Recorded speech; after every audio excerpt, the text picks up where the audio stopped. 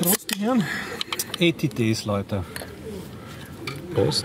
Und Quiet Earth. Sauer nicht. Prost. Prost.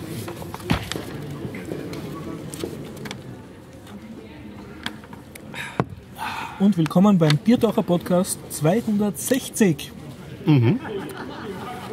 Wir schreiben den 14. 6. 2016. Wir befinden uns in einem sehr kleinen Innenhof vom alten AKH. Hof 8, glaube ich. Und das Ganze findet Stadt mit freundlicher Unterstützung von woconic.com, der Online-Marketing-Agentur vom Jörg aus Österreich. Vielen Dank an dieser Stelle und doch danke an die Flatterer. und an das Monster. Oh, das besonders immer. Und falls wir jemals Patreon-Zuwendungen kriegen, im Voraus schon danke. Das ist auch möglich. Starten Heute, heute ist dabei Genau, der Gregor. der Horst. Der Dennis. Und der Stefan. Tja, Starten wir in den Teaser. starten wir in den Teaser. Ja? Worum geht's heute? Also ich würde gerne ein bisschen über narrative Spiele sprechen, insbesondere über 80 Days, was ich jetzt ähm, länger gespielt habe, und einen Abschluss zum Science Fiction in Parkfest, ähm, wo ich in Lu- illustrer Runde ähm, Quiet Earth angeschaut habe. Ja, ich habe einiges zu erzählen. Ich habe mir ein sehr seltsames Formular besorgt, äh, habe Prominente gesichtet, zwei Bücher gelesen und auch zwei Filme im Kino zum Rezensieren. Ich habe nichts heute mit. Ich habe mit Reaper gespielt und Pamela Oh. Kenzak. Okay, weil Du Reaper kann auch ich auch Kino. reden. Ich war, ich, ich war im Kino, ja. Mit dem Horst nämlich. Ja, in Horst, glaube ich. Und deine Freundin war auch dabei. Stimmt, die war auch dabei. Ja. Okay, ja. Wenn Sie das alles interessiert, unter Biertaucher.at Folge 260. Ab, Dieser ab. dieser ab. Okay, Auf in den Podcast. ich habe ein neues Ritual. Ich habe die Feedback-Verlesung zu machen. Okay. Also im Prinzip uns. ähm, äh, schöner Leiden. Schöner Leiden, genau, schöner Leiden. Erklärung, die die letzte Folge nicht gehört haben. Wir haben gebeten um Feedback und du hast auf Ich habe Google, das braucht. genau, ja, du hast auf Google so ein Formular Ich habe ein ja. Google-Formular gemacht und das als einziger auch angeschaut. Das wusste ich nämlich Und- gar nicht, dass das überhaupt geht auf Google. Tja, ich bin riesiger Google-Fanboy. Und ja, das Nette ist, es haben immerhin acht verschiedene Leute, hoffe ich, ähm, Feedback gegeben. Und äh, ich versuche das äh, kurz vorzulesen. Es war keiner dagegen, dass sein Feedback verlesen wird. Erster Eintrag, ah ja, das, man muss dazu sagen, die Leute haben ihren Namen dazu schreiben können. Wir haben natürlich aber keine Überprüfungsfunktion eingebaut. Also es hätte jetzt jemand auch Donald Duck oder, oder Kurt Fischer oder so irgendwas reinschreiben können als sein Name. Okay, ähm, der, die erste Frage war, am unnötigsten finde ich beim Biertaucher-Podcast und das beginnt dann gleich, dem Dennis sein unqualitatives Genörde, zum Beispiel über Kondensatoren oder den Film Das Boot. Dennis, bitte ähm, besser vorbereiten oder mal den Mund halten bei Themen, wo du keinen Plan hast, etc. Ähm, dann in der Spalte Mir gefällt beim Biertaucher-Podcast waren da lokale Themen. Ähm, und dann äh, so kleine Fragen la lasse ich jetzt weg, ob die Shownotes benutzt werden, ähm, ob man ein Nerd ist. Und am Schluss äh, kam dann noch, ähm, ich will, dass mein Feedback vorgelesen wird und da steht Ja und äh, als Name ist angegeben Dr. Clemens Muth. Der ist mit Sicherheit falsch. Wir wissen es nicht. Wir wissen es nicht. Wir stellen das dahin. Zweiter Eintrag, äh, was ich immer schon sagen wollte, arbeitet an der Gesamtanscheinung, Logo, Webseite, Tonqualität, wirkt alles viel zu nerdig und nicht ansprechend. Empfehle den entsprechenden Vortrag von der Subscribe. äh, Ja. ich soll das, ja, das war ein Anonymous, der das geschrieben hat. Was, ihm, was er am unnötigsten findet, sind die Huldigungen zu Beginn. Und was ihm gefällt, ist, jeder, jeder kann da mal dabei sein. Ja. Ferner haben wir, was ich, äh, was ich immer schon sagen wollte, ihr seid toll, macht weiter. Und das Yeah. sagt uns der Robert aus Niederzieher, Anführungszeichen, hurra, ich bin in einem Podcast, Rufzeichen, Anführungszeichen. äh, am unnötigsten findet er, dass manchmal zu viel Lärm im Hintergrund ist. Wir das Ja, halt das stimmt. Und es gefällt ihm, dass immer alle Spaß daran haben. Ja. Vierter Punkt, äh, vierter Eintrag ist, was ich immer schon sagen wollte, bitte werdet wieder kürzer werden. 60 bis 90 Minuten wäre gut. Habe schon öfter überlegt, den Biertaucher Podcast aus meinem Feed zu löschen, als die Episoden zwei bis drei Stunden lang wurden. Das ist auch ein Anonymus. Und ähm, am unnötigsten findet er oder sie manche Leute, die glauben, zu jedem Thema eine Meinung abgeben zu müssen. Und dass er deswegen in der letzten... Aha, das kann ich jetzt nicht lesen, weil ich die Spalte zu klein gemacht habe. Okay. Und äh, was ihm gefällt, äh, dass jeder hingehen kann. Okay. Dann haben wir noch äh, eins, ja, was ich immer schon sagen wollte, war Prost. Und ähm, das Unnötigste ist der Teaser. Und was ihm gefällt, sind die Tech-Themen und natürlich die Velomobil-Rubrik. Ah ja, Ähm, stimmt, haben wir auch so immer gutes Feedback bekommen zu den. Dann vorletzter Eintrag ist Hallo Biertaucher, habe euren Aufruf zum Biertaucher-Podcast gehört und denke, als Ex-Hörerin melde ich mich. Und zwar ist das die Anja Wagenknecht. Und was sie am unnötigsten findet, ist, ähm, ist den alles besser wissenden Dennis. Und was ihr gefällt, ist den Dialekt. Okay. Ich Und hoffe meinen. Ich mache jetzt ein fragendes Gesicht. Das, kann, das, das verbuchen wir noch zu deiner Busseite. Okay, und der letzte Eintrag, was ich euch immer schon sagen wollte, to.damn.long. Nur weil einem eine Anekdote einfällt, muss man sie nicht zum Besten geben. Punkt, Punkt, Punkt. Dies ist der Hop. Und am unnötigsten findet er die Länge.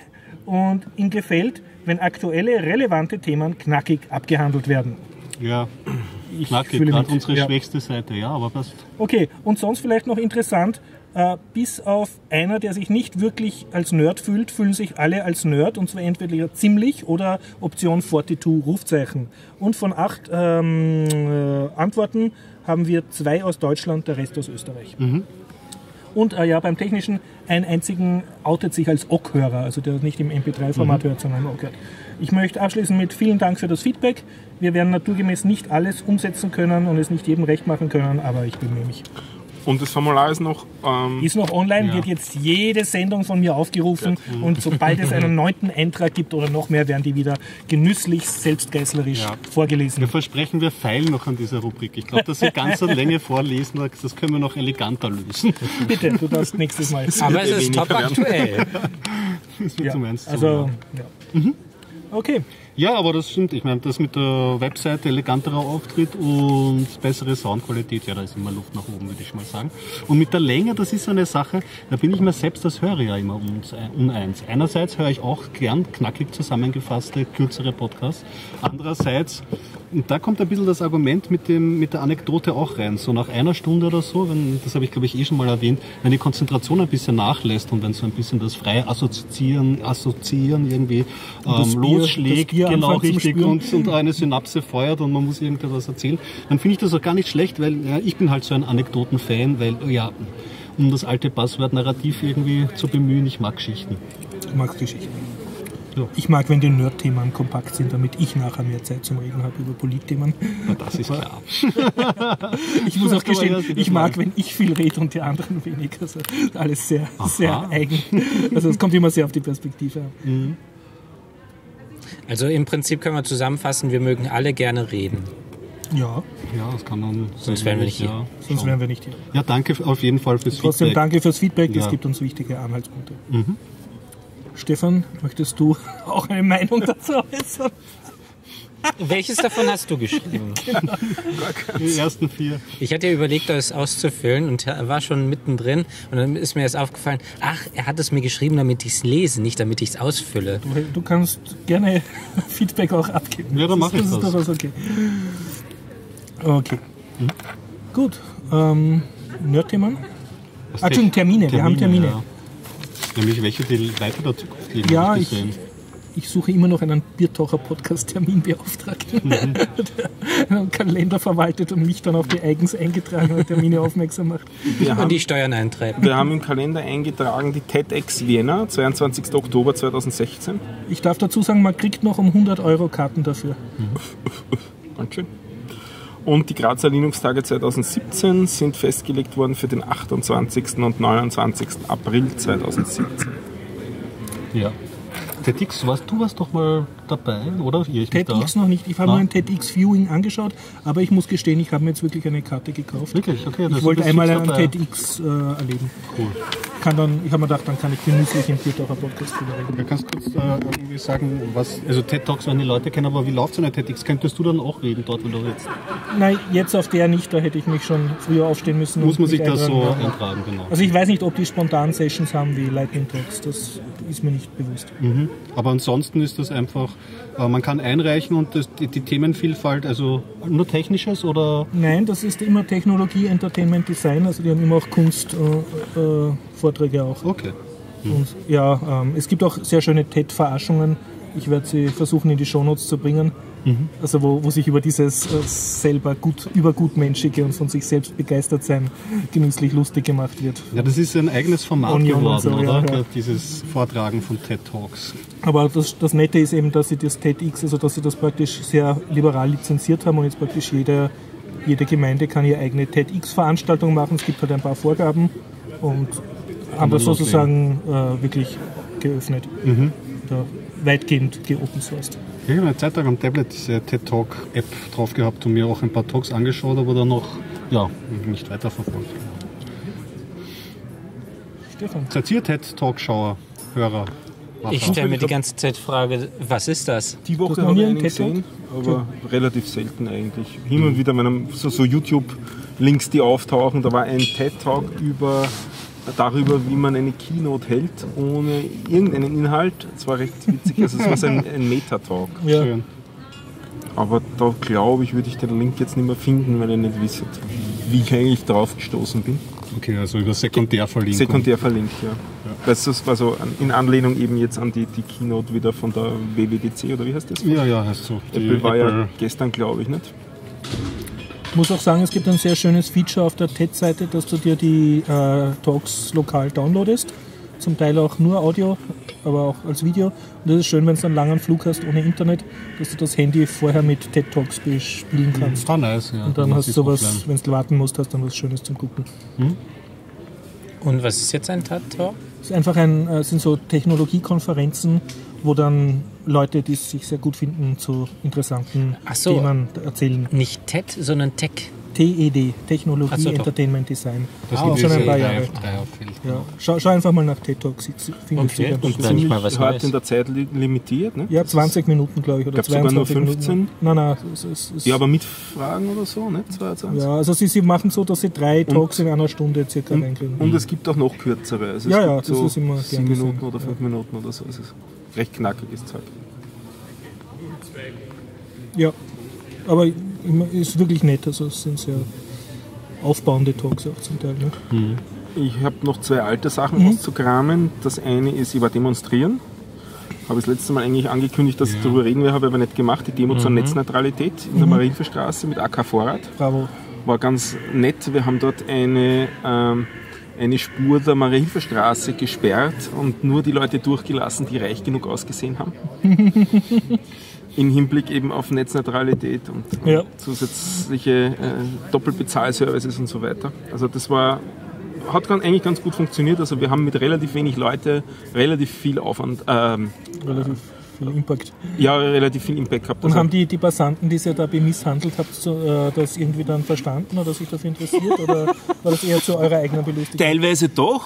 Ja. Ähm, sich interessiert auch. Lustigerweise ist dort freiwillig niemand durchgegangen. Mhm. Also es reicht mit zwei Bändern so eine, eine Spur zu sperren auf der Straße und da geht dann wirklich niemand mehr durch. Wir haben glaubt, wir müssen das dann. das ja, wir müssen das wirklich sperren. Das muss man gar nicht machen. Da reichen so Absperrbänder. Und dann ist da wirklich niemand mehr durchgegangen. Ähm, Ja, alle sind drumherum sind gegangen. alle rundherum, ja. Also Ja. Das, die haben so, "Oh, was ist da los? Und dann außen rundherum. Ja, so. das war für die so ein, ein Pulk, wo Menschen stehen und äh, überall, wo Menschen stehen, geht man drumherum. Das können Musiker sein oder sonst was. Ja, Oder sonst was, nicht? oder sonst Warst was. du auch Demo. Dennis? Ja, ja, ich war Ah, auch okay. Und ähm, war das dann stationär nur dort oder seid ihr dann noch eine Route da. gelatscht? Nein, es war nur stationär. Okay. Und Aber ist ein Vertreter von dieser Musikverwerteagentur rausgekommen Das und hat war ja nicht geredet? gegen Musik, oder? Nein. Doch, das war bei dem Gebäude von der Das, Nein, nichts Musikverwertung, sondern äh, Telekom-Regulierungsbehörde. Sorry, von denen, ja. Aber nein, es niemand. ist, es ist nur darum gegangen, da ein bisschen Aufsehen zu erzeugen. Nein, das hat extern niemanden interessiert, nicht einmal die Polizisten wirklich. Die sind zuerst zurückgekommen, ah, was macht's denn hier da? Ah, Demonstration. Ah, ja, ist das angemeldet? Ja, da ist der Zettel. Dann sind sie wieder weggegangen. sind, an, ja sind an den Rand Beleidigung. gegangen und haben zugeschaut. Dann Ah, sind zwei weitere gekommen, wieder ganz aufgeregt. Ah, was ist denn da los? Was ist denn da los? Wir haben schon mit ihren Kollegen geredet. Na dann, haben sie uns zugestellt.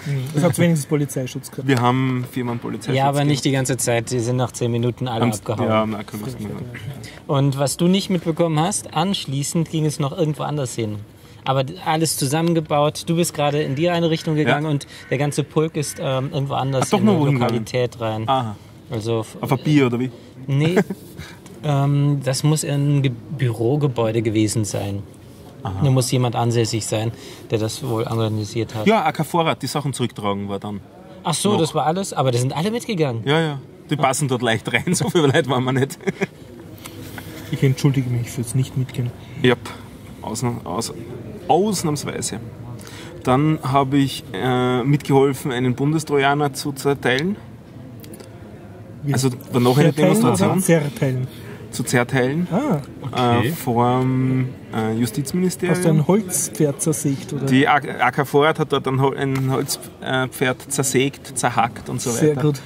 Äh, war leider auch relativ äh, spärlich besucht, war aber äh, ich glaube Donnerstagvormittag oder Dienstagvormittag oder so. Also so richtig Schwieriger Arbeits... schwieriger Termin. Da ist auch weniger darum gegangen, da jetzt viele Leute hinzukriegen, als eher Presse. genau ein Medientermin. Und es hat auch äh, Presseaufmerksamkeit ein bisschen erzeugt und so. Also auch passt. Was war da der genaue Anlass? Also Sie überlegen jetzt wieder Bundestrojaner oder wie war das? Es Ja, ist, die sind schon durch, glaube ich. ne? Nein, es ist lustiger, weil es am gleichen Tag, am Abend dann vom Herrn Justizminister gekommen, dass vielleicht doch keiner, weil man wird jetzt die Einsprüche sich nochmal genauer So, überlegen. vielleicht war das deine Demo, die den da zum Nachdenken Selbstverständlich. Ich bin ganz sicher, es wird nur an mir gelegen sein.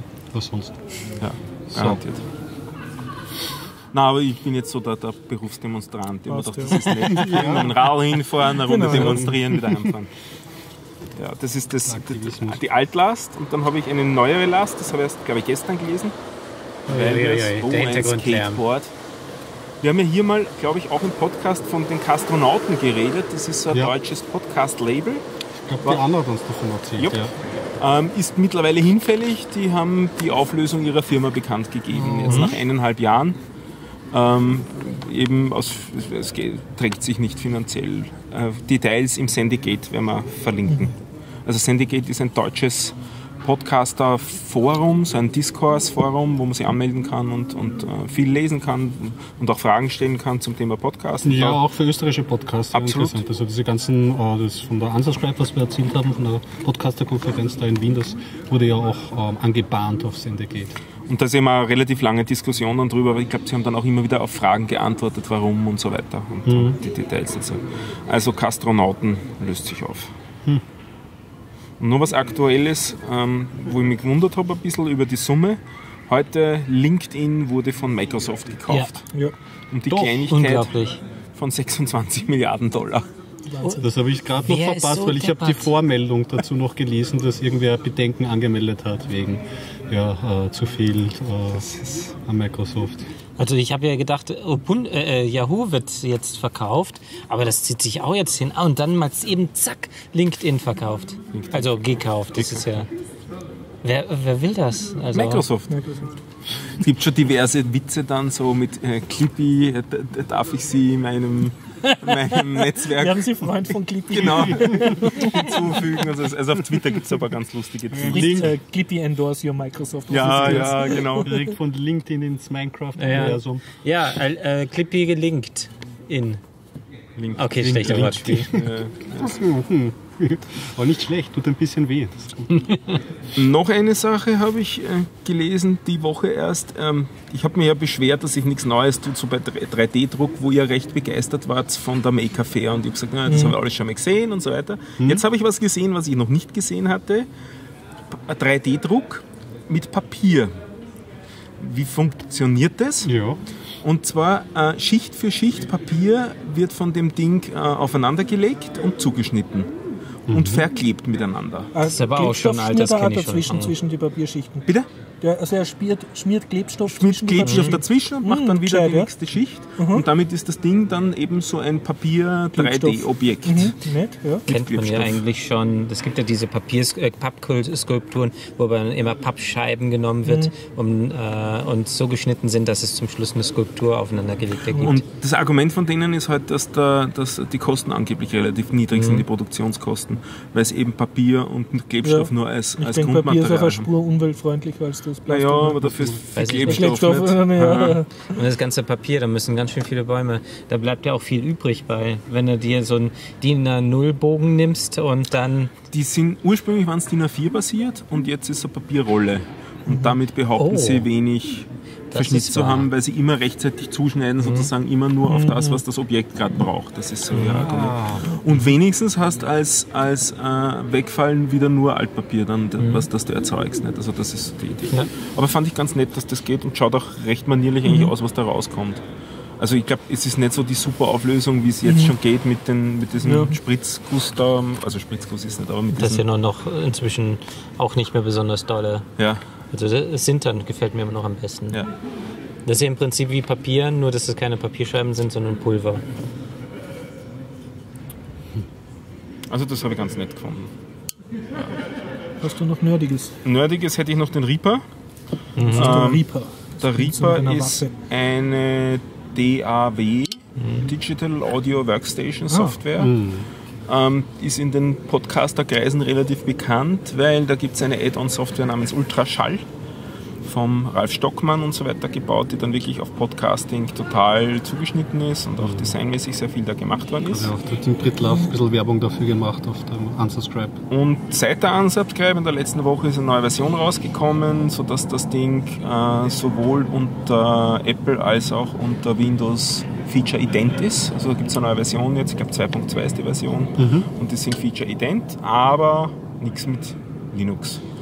Aber es wurde auch gesagt, angeblich äh, tut sich da was mit der Linux-Entwicklung von Reaper. Also habe ich ein bisschen recherchiert und siehe da auf der Webseite der Firma, deren Namen ich vergessen habe, weil ich den Link da mir nicht auf den Zettel geschrieben habe, äh, kann man sich so eine Developer, einen Release-Candidate runterladen Aha. und mit relativ viel Herumgenudel äh, habe ich ihn dann zum Laufen gebracht. Er kennt noch nicht meine Audiokarte, also ich kann es noch nicht wirklich verwenden, aber es startet schon mal. Also es geht in Richtung Linux-Version. es geht in Richtung Linux-Version. Sie arbeiten schön, daran, ja. Also Man muss dazu sagen, es ist keine freie Software, aber sie ist relativ günstig zu Ja, erwerben. oder? ja, also es ist ein Im zweistelliger Dollarbetrag war es. Ich glaube, es ist sogar unter 50. Also es ist nicht arg teuer, Mhm. die Geschichte. Ja. Und Reaper läuft sowieso schon in Wine recht gut. Ja, ja. Nur die VST-Plugins sind zum Teil äh, nicht besonders dolle. Und das wäre dann eben native. ja. Ja. Also eine, Auch dann mit VST-Plugins oder Aber mit, das tut sich ähm, was. Also ich finde finde das ein positives Zeichen, dass sich jetzt einige Soundsoftware dazu entschlossen Ja. haben, auch Linux-Unterstützung zu bringen. Ich bastle ja hin und wieder ein paar Sounds mit diesem Bitwig, das so ein Ableton-Klon ist aus einer Berliner Software-Schmiede. Kostet jetzt auch nicht die Welt, äh, ich weiß nicht, an die 250 Euro mit Studentenlizenz irgendwie gezahlt. Und tut und macht und ist gut. Und äh, wer es ganz frei haben möchte, dann gibt es ja noch immer Adur und kann sich da rein tigern. Also in Sachen Audio ist es lustig. Also Adur habe ich Grad. nie zum Laufen gebracht. Da war Wine, äh, Reaper in Wine Ja. wesentlich einfacher. Ja. Gar nicht also, auch mit diesen Originalpaketquellen, wenn du so unter Debian bist. Fürchterlich. Okay. Also Adur Ich hab's äh, ewig 2 schon immer und 3 probiert. habe ich ausprobiert. Äh, zum Schluss bin ich bei Audacity geblieben. Ich habe meine ersten Soundstücke noch mit so einer super proprietären Windows-Software geschraubt. Fruity Loops, kennst du das? Na? Ja, es ist aber nicht so unbekannt. Da gibt es auch so einen Windows, einen Linux-Klon, der frei ist. Nennt sich LMMS Linux Multimedia Sound System. Ich Mhm, weiß aber das nicht, ob das. Und das äh, lehnt sich an Fruity Loops ziemlich an. Habe ich auch ein bisschen gebastelt. Das war aber noch nicht so weit. Da weiß ich nicht, wie, wie weit das, ob das, das Projekt noch super aktiv ist. Ich weiß nicht, ob ich das hier erzählt habe oder nur auf der Unsubscribe. Adur 4 und der Ubuntu 16.04 läuft bei mir ohne Probleme. Mhm. Und auch das Studio Link Plugin läuft jetzt drinnen. Also Studio Link ist so, äh, da habe ich glaube ich mal drüber geredet. Ja. Das ist nicht zum Laufen gebracht, aber mittlerweile habe ich es zum Laufen gebracht. Und wir hatten dann auch noch ein bisschen ein Problem unter Linux, dass es bei einer, mit einer Bibliothek Konflikte gegeben hat. Und das hat dann der Entwickler vom Studio Link sehr schnell behoben. Ich glaube, innerhalb von zwei Tagen kam dann eine neue Version raus und das hat funktioniert. Also das war ziemlich cool. Ah, Adur 3 und 4 habe ich natürlich probiert, nicht 2 und 3. Ja. Jo, das war Reaper und Arthur und so. Ich habe Genörde im, äh, also Tech-Genörde zum Thema YouTube-Videos machen, äh, die so wie eine PowerPoint-Slideshow funktionieren. Okay. Und zwar habe ich das jetzt gemacht für dieses Codecamp in Irland, so ein kleines Werbevideo. Und äh, ich bin zuerst so vorgegangen, ich habe mit Audacity einmal gesagt, was ich sagen wollte. Und dann zu der Tonspur, dann habe ich mir so praktisch Slides gebastelt. Ich habe dazu aber Inkscape verwendet, was nicht so ganz ideal, weil ich hätte wahrscheinlich LibreOffice direkt verwenden sollen. Das ist so ein Vektormalprogramm. Ja, und dann noch äh, Screenshots gemacht mit Kazam, und zwar nicht Screenshots, sondern einen Screencast, also eine scrollende Webseite gemacht und das Ganze dann zusammengemischt mit PitTV, dem Videoeditor, und da ist jetzt sowohl äh, Inkscape, Slides und Schrift reingebaut, als auch meine Screencasts, als auch andere Videos, die ich schon gehabt habe und das dann auf die Audiospur angepasst. Und ja, das Resultat kann man sich anschauen auf der Spring Programmieren Homepage. Äh, was ich gemerkt habe, also richtig gut wirkt es nur, wenn man wirklich zu jedem Satz, den man spricht, mehrmals pro Sekunde das Bild wechselt. Also dass jedes Bild wirklich so jedes Wort oder jeden Gedankengang demonstriert. Das war mir ein bisschen zu viel Arbeit. Ich habe dann so circa zwei Sekunden immer ein Bild Okay. oder eine Filmsequenz gehabt. Aber ich war erstaunt, dass es relativ gut geht und war vor allem sehr begeistert von dem Kazam. Ich habe sonst mit GTK Record, mein Desktop, gearbeitet für Screencast und dieses Kazam hat eine hübschere User Experience. Also für Screencast nur eine empfehlenswerte ja, Software. ja, ja. Und auch so, ich, also war recht angenehm, dass der ganze Workflow und mit freier Software recht gut kam. Mhm. Und BitTV hat sich das gut getan? irgendwie? Ja, da habe ich nur einmal kurz googeln müssen. Äh, Es gibt ein Icon, was am rechten Rand ist, was aber für mich nicht selbsterklärend war, dass ich, wenn ich einen Filmschnipsel rein tue, dass ich dessen Audiospur entkoppeln kann und löschen. Ich wollte nur den Film und nicht das Audio vom Film. Ja. Und das, die Funktionalität war da, aber es war nicht selbsterklärend. Okay, da war es nochmal nachrecherchiert. Habe ich einmal nachrecherchieren müssen und sonst ist es Stabil. relativ. Einmal ist man, glaube ich, abgestürzt in einer Stunde arbeiten, also das war okay. Und hat recht gut funktioniert, ja. Also ich war angenehm überrascht. Man braucht keinen Windows Movie Maker, um kleine Filmchen zu, zusammenzuschnipseln. Cool.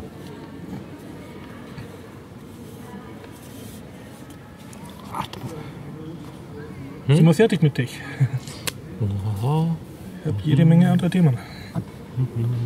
Tech? Ach so, doch, natürlich, genau, richtig. Ja, die letzte Woche habe ich ja äh, am Ende angesprochen, Virenscanner, man soll sie deinstallieren, weil das das Haupteinfallstor jetzt wird.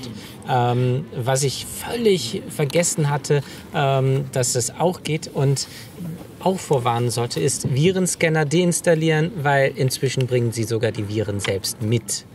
Also erst heute gelesen, äh, der erste Virenscanner. Virenscanner. Ja, der erste Virenscanner, der ein Virus mitgebracht hat. Ja, Scanner beim Virus, Update direkt ein Ja, Virus mit ja. dabei.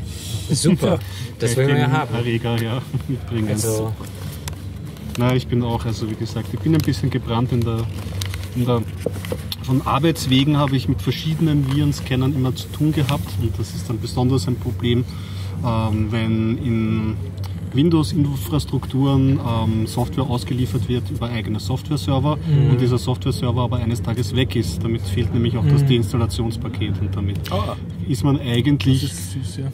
Sollte man, ich habe lange überlegt, sollte man aber nicht, man sollte neu installieren. Sich das nicht antun, weil man kriegt es nicht sauber weg. Und Finger weg von Softwaren, die irgendwas, aber das ist, Ah, der, glaub der ich, Package-Entferner. ja, ja, also das sollte man, das ist vielleicht ein, aber das gehört in Richtung gesunder Menschenverstand, aber ich sage es trotzdem nochmal, Package-Entferner, Finger weg, die verseuchen das Ganze noch mehr. Ja. Meistens. Ja, Tipp. Hint. Ja, du. Ich habe was nicht Technisches, was Politisches. Ich bin am Schottenring spazieren gegangen heute Mittag und dann lief mir eine sehr elegante Frau über den Weg, begleitet von einem älteren Herrn. Und dann habe ich die freundlich angeredet und habe gesagt, ja, grüß Gott, sind Sie nicht in der falschen Stadt? Aber der ältere Herr hat gesagt, nein, nein, er ist schon richtig hier. Und ich wollte Sie dann beide zum Biertaucher Podcast einladen. Aber weder die Sarah Wagenknecht noch der Oskar Lafontaine haben sich wirklich darum gekümmert, sondern sie haben zu tun gehabt. Ich habe mich gefreut, dass die am Schottenring rumlaufen. Ja, cool. Und ich habe geglaubt, du hast uns getroffen. Ja. Aber wir haben uns auch getroffen. Genau, ja. Wir waren im Kino. Ich war schon ein bisschen K.O. nach, ich weiß nicht, elf Stunden Arbeit oder so. Am Anfang schon ziemlich gedöst. Du warst wacher, glaube ich. Ich war wach, ja. Also ich habe dazu aufgerufen über Twitter, wer sich mit mir einen intellektuellen Umweltschützerfilm anschaut, nämlich Tomorrowland, oder? Ah ja, das habe ich. Die Welt ist voller Lösungen. Und viel gut Film hast du geschrieben und das hat es auch ganz gut getroffen. ja, ja. Und ja, dann bist zu meiner großen Überraschung bist du drauf eingestiegen und sogar deine Freundin, ne? Jupp. Und wir haben uns den gegeben und ja, war ganz nett. Ich meine, ja, es sind halt kleine Episoden, aber es zeigt sich, dass halt sich doch manche bemühen, alternative Lösungen zu finden. Relativ viele Städte sind genannt worden, die sich in Umweltschutz, in Nachhaltigkeitsthemen, in sozialen Themen engagieren und versuchen halt Lösungen für, zu finden für die eh bekannten Probleme. Ja, Also war von französischen Filmemachern, was ja französisch äh, zentriert und Grundvoraussetzung war halt, das waren so Filmemacher, die jetzt halt nicht einen Negativfilm drehen wollten, es ist alles so schlimm, sondern halt zeigen wollten, was kann man machen, um den großen Menschheitsproblemen zu begegnen und da haben sie halt dann versucht, Beispiele herauszupicken. Von Urban Farming in Detroit bis zu Solaranlagenplantagen in Reunion.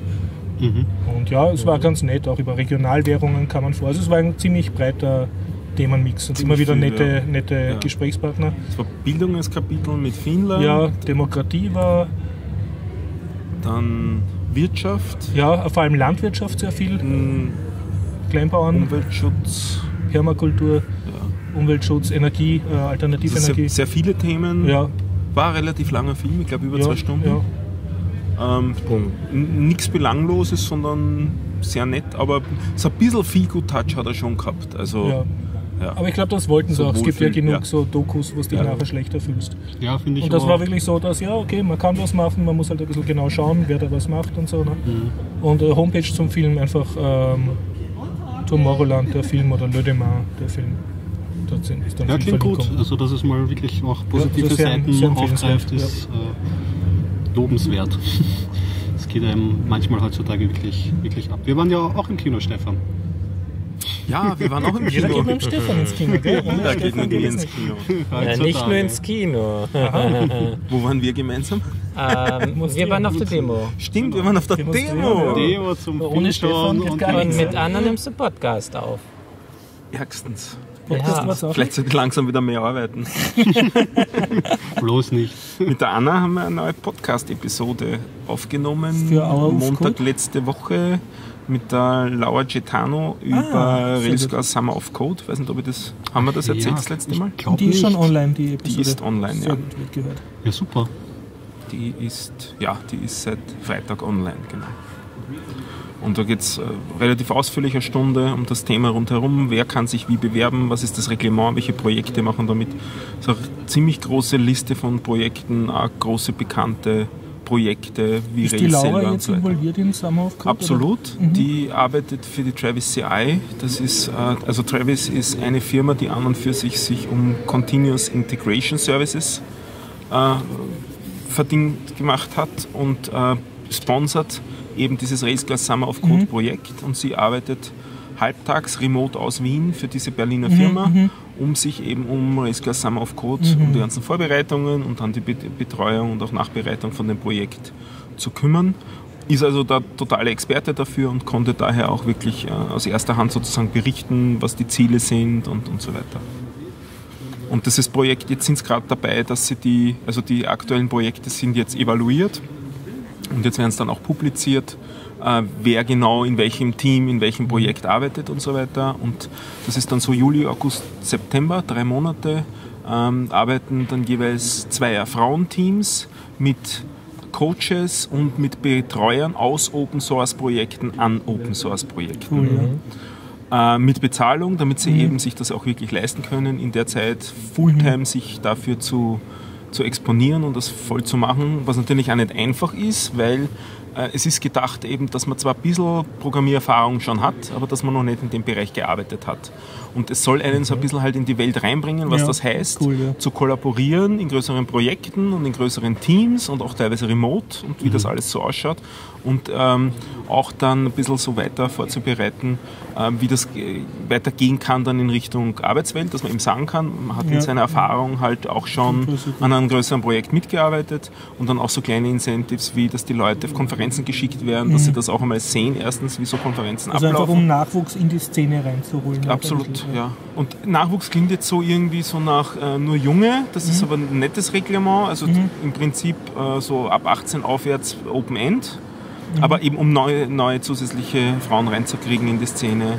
Ja. Und ähm, sie haben immer so um die 30 Teams, wenn ich mich richtig erinnere, also durchaus Mhm. eine ganze Menge äh, äh, Frauen, die da jetzt neu dazukommen und jeweils dann auch mit, mit Coaches und Trainer Mhm. sind da einige hundert Leute involviert jedes Jahr. Also das ist so ein richtig ernsthaftes Projekt, das da einiges weiterbringt. Und was ist Voraussetzung, dass man bei Summer of Code mitmachen darf? Also musst du Frau sein oder? Ja, es sind einige Voraussetzungen. Du musst Mhm. also schon ein bisschen programmiert haben, du musst also nicht, nicht absoluter Anfänger und du musst belegen, du musst ein Projekt finden, Mhm. wo äh, dich jemand äh, be betreut, du musst äh, lokale Trainer finden, also, Mhm. Also du lokale musst ja deine Coaches. Coaches und dein Projekt selber suchen. auch Du selber. kannst nicht sagen, nehmt Genau. Ne? Und du musst auch ein Motivationsschreiben Mhm, dazu äh, abliefern und du musst ein bisschen coachen selber geschrieben haben, den musst du auch einreichen. Ja, ja. Also du machst so richtig eine, eine Bewerbung, einen Bewerbungsprozess. Mhm, Und du musst auch eine Partnerin haben, also alleine bewerben geht auch nicht. Also es sind immer die Zweierteams. Also es müssen zwei Es müssen Leute immer zwei sein und die zwei müssen Okay. immer aus der gleichen Stadt sein auch, Ah, okay, dass ja, die dass auch die zusammenarbeiten. kooperieren können vor Ort, dass man eben nicht alleine da vom Computer vers ausfällt. Ne? Das das, Nein, überhaupt nicht ausfällt, nicht? sondern dass man kooperiert Mhm. einfach. Also wirklich auf PR-Programme. Das, genau, dass, dass es als Paar äh, abgehandelt wird. Und auch die Coaches müssen eigentlich lokale Coaches sein. Also nicht alle, aber zumindest ein paar, sodass man eben nicht alleine da vom Computer jetzt vergammelt sozusagen und nicht weiß, wie man weiter tun kann. Und sie machen dann eben auch Abstimmungen und sie, also jetzt im Sinne von also sich abzustimmen im, im Team mit dem Projekt, wie man vorangeht und äh, be betreuen das auch gut und bereiten das auch gut auf. Also sehr schönes Projekt. Ich schätze sicher eine der, der tolleren Google-Projekte, weil du wirklich viel für die Open Source Community tun.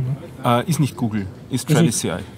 Es ist Rails. Summer of Code, es ist nicht Google Summer of Ich Code. habe. Ah, sorry, sorry. Das sind getrennte Projekte. okay, das ist jetzt rein Rails Girl Summer of Das Code. ist rein okay, Rails das Summer of Code, hat aber, obwohl es so Ja. klingt, Ja. Mhm. nichts mit Rails zu tun. Es hat nicht einmal was mit Ruby explizit mehr zu tun. Also das sind auch das heißt, mittlerweile ein Python-Projekt sind Python-Projekte rechnen, dabei, JavaScript-Projekte Mhm. dabei. Es sind auch ähm, teilweise so allgemeinere Projekte Mhm. wie äh, wie schreibt man Guides, um nächst, äh, nächste Mhm, ja. Leute wieder reinzukriegen. Ja. Super, Also ja, ja. ganz, ganz gemischtes äh, Mhm. äh, Projektprogramm ist da. Recht interessant. Aber es gibt mittlerweile die Liste der Projekte, noch nicht die genauen Personenzuordnungen. Die werden wir auch verlinken, oder haben wir auch verlinkt schon in, dem, in der Episode. Und äh, einige neue Projekte, die ich auch nie kannte bisher, dass es Mhm. die gibt, war sehr, sehr nett. Also ich habe nicht gewusst, dass zum Beispiel GitHub sich um Schulklassen bemüht und dass es da auch eben äh, Verwaltung gibt, dass man eben ganze Schulklassen Ja. mit Accounts einfach Ja, versorgt und so weiter. Ja, cool. Ja. Ja, gratuliere, dass du so leibende Podcasts machst mit so Jupp. leibenden Gästen. Jupp. Wo hast du denn das gelernt, dieses Ja. Podcast? Das, muss nicht, das kann nicht bei uns gewesen sein. Wollte ich gerade sagen. Mit dieser das optisch ich ja viel länger. Shownote-Seite. Ne? Sonst könnte ich es auch inzwischen. Man lernt aus Fehlern. Sehr gut. Ja, cool. Da muss ich gleich noch was erzählen.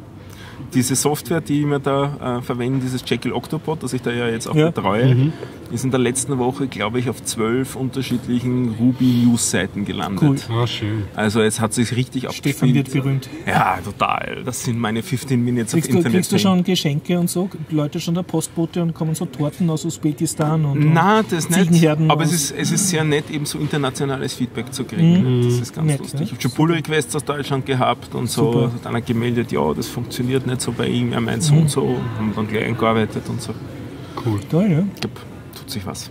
Schön. Da schauen wir belämmert, wir nicht so berühmten Biertaucher. Ja, ich bringe das Science Fiction im Park. Ja, du kurz darfst zu. Ende, genau. oder? Da haben wir uns angeschaut. Müssen wir flüstern. Ja, genau, richtig. Weil es geht um einen ganz leisen Film. Nennt sich Quiet Earth, das letzte Experiment. Ist äh, unter Produktionsland steht Neuseeland ähm, und ist ein Film aus dem Jahre 1985. Und die Handlung lässt sich eigentlich kurz so anteasern, weil es einem bekannten Muster auch folgt. Ein Mann wacht auf nach einem la- anscheinend langen Abend und ist alleine auf der Welt. Ganz alleine. Fährt durch die Städte. der Welt. Sieht niemand. Ich, ich muss zugeben, ich bin eigentlich nur deswegen hingegangen, weil der Dennis gesagt hat, der wird euch nicht gefallen, der Film. Das ist eine das, Herausforderung. das schaue ich mir jetzt an. Also mir hat er total gefallen. Ich Ja. hab's gewusst. Ich wollte, Dennis, wollte euch nur dazu bringen. Ja, es hat funktioniert. Ja, das war dein Plan. Ja. Funktioniert. Nein, der war echt sehr, Also ist das dann nett. so ein Postapokalypse oder weiß man nicht, warum Ja. die Erde menschenleer ist? Das- Oh, Es wird, kommt das dann das so kommt so raus. Aha, okay. Genau, genau. Richtig. Aber nicht verraten. Ja, ja, ich also hätte nur nicht mal verraten, dass es, es herauskommt, weil ähm, ich finde das allein schon spannend, äh, dass man noch gar nicht weiß am Anfang des Films, dass man es eher äh, wirklich mal erfährt. Ja, ja, genau. Also, Das nimmt schon ein bisschen Spannung ich habe relativ lang daran gezweifelt, ob das, was man erfährt, überhaupt stimmt. Ja. Mm, ja, genau. Das, damit spielt der Film, glaube ich, auch ein wenig. Ja, Und, und ja, also, also ich fand ihn auch sehr, sehr gut. So das letzte Drittel und so, da nimmt es ein bisschen Tempo raus, aber tut dem Film keinen Abbruch. Und ich fand einfach sehr schön so, gerade den, gerade den, gerade am Anfang oder so, wenn er so, ähm, es ist ja bei so diesen Filmen, dass man, dass er sich zuerst sogar ein bisschen vielleicht nicht freut, aber damit gut umgehen kann und dann doch irgendwie ein bisschen dem Wahnsinn anheimfällt zwischenzeitlich.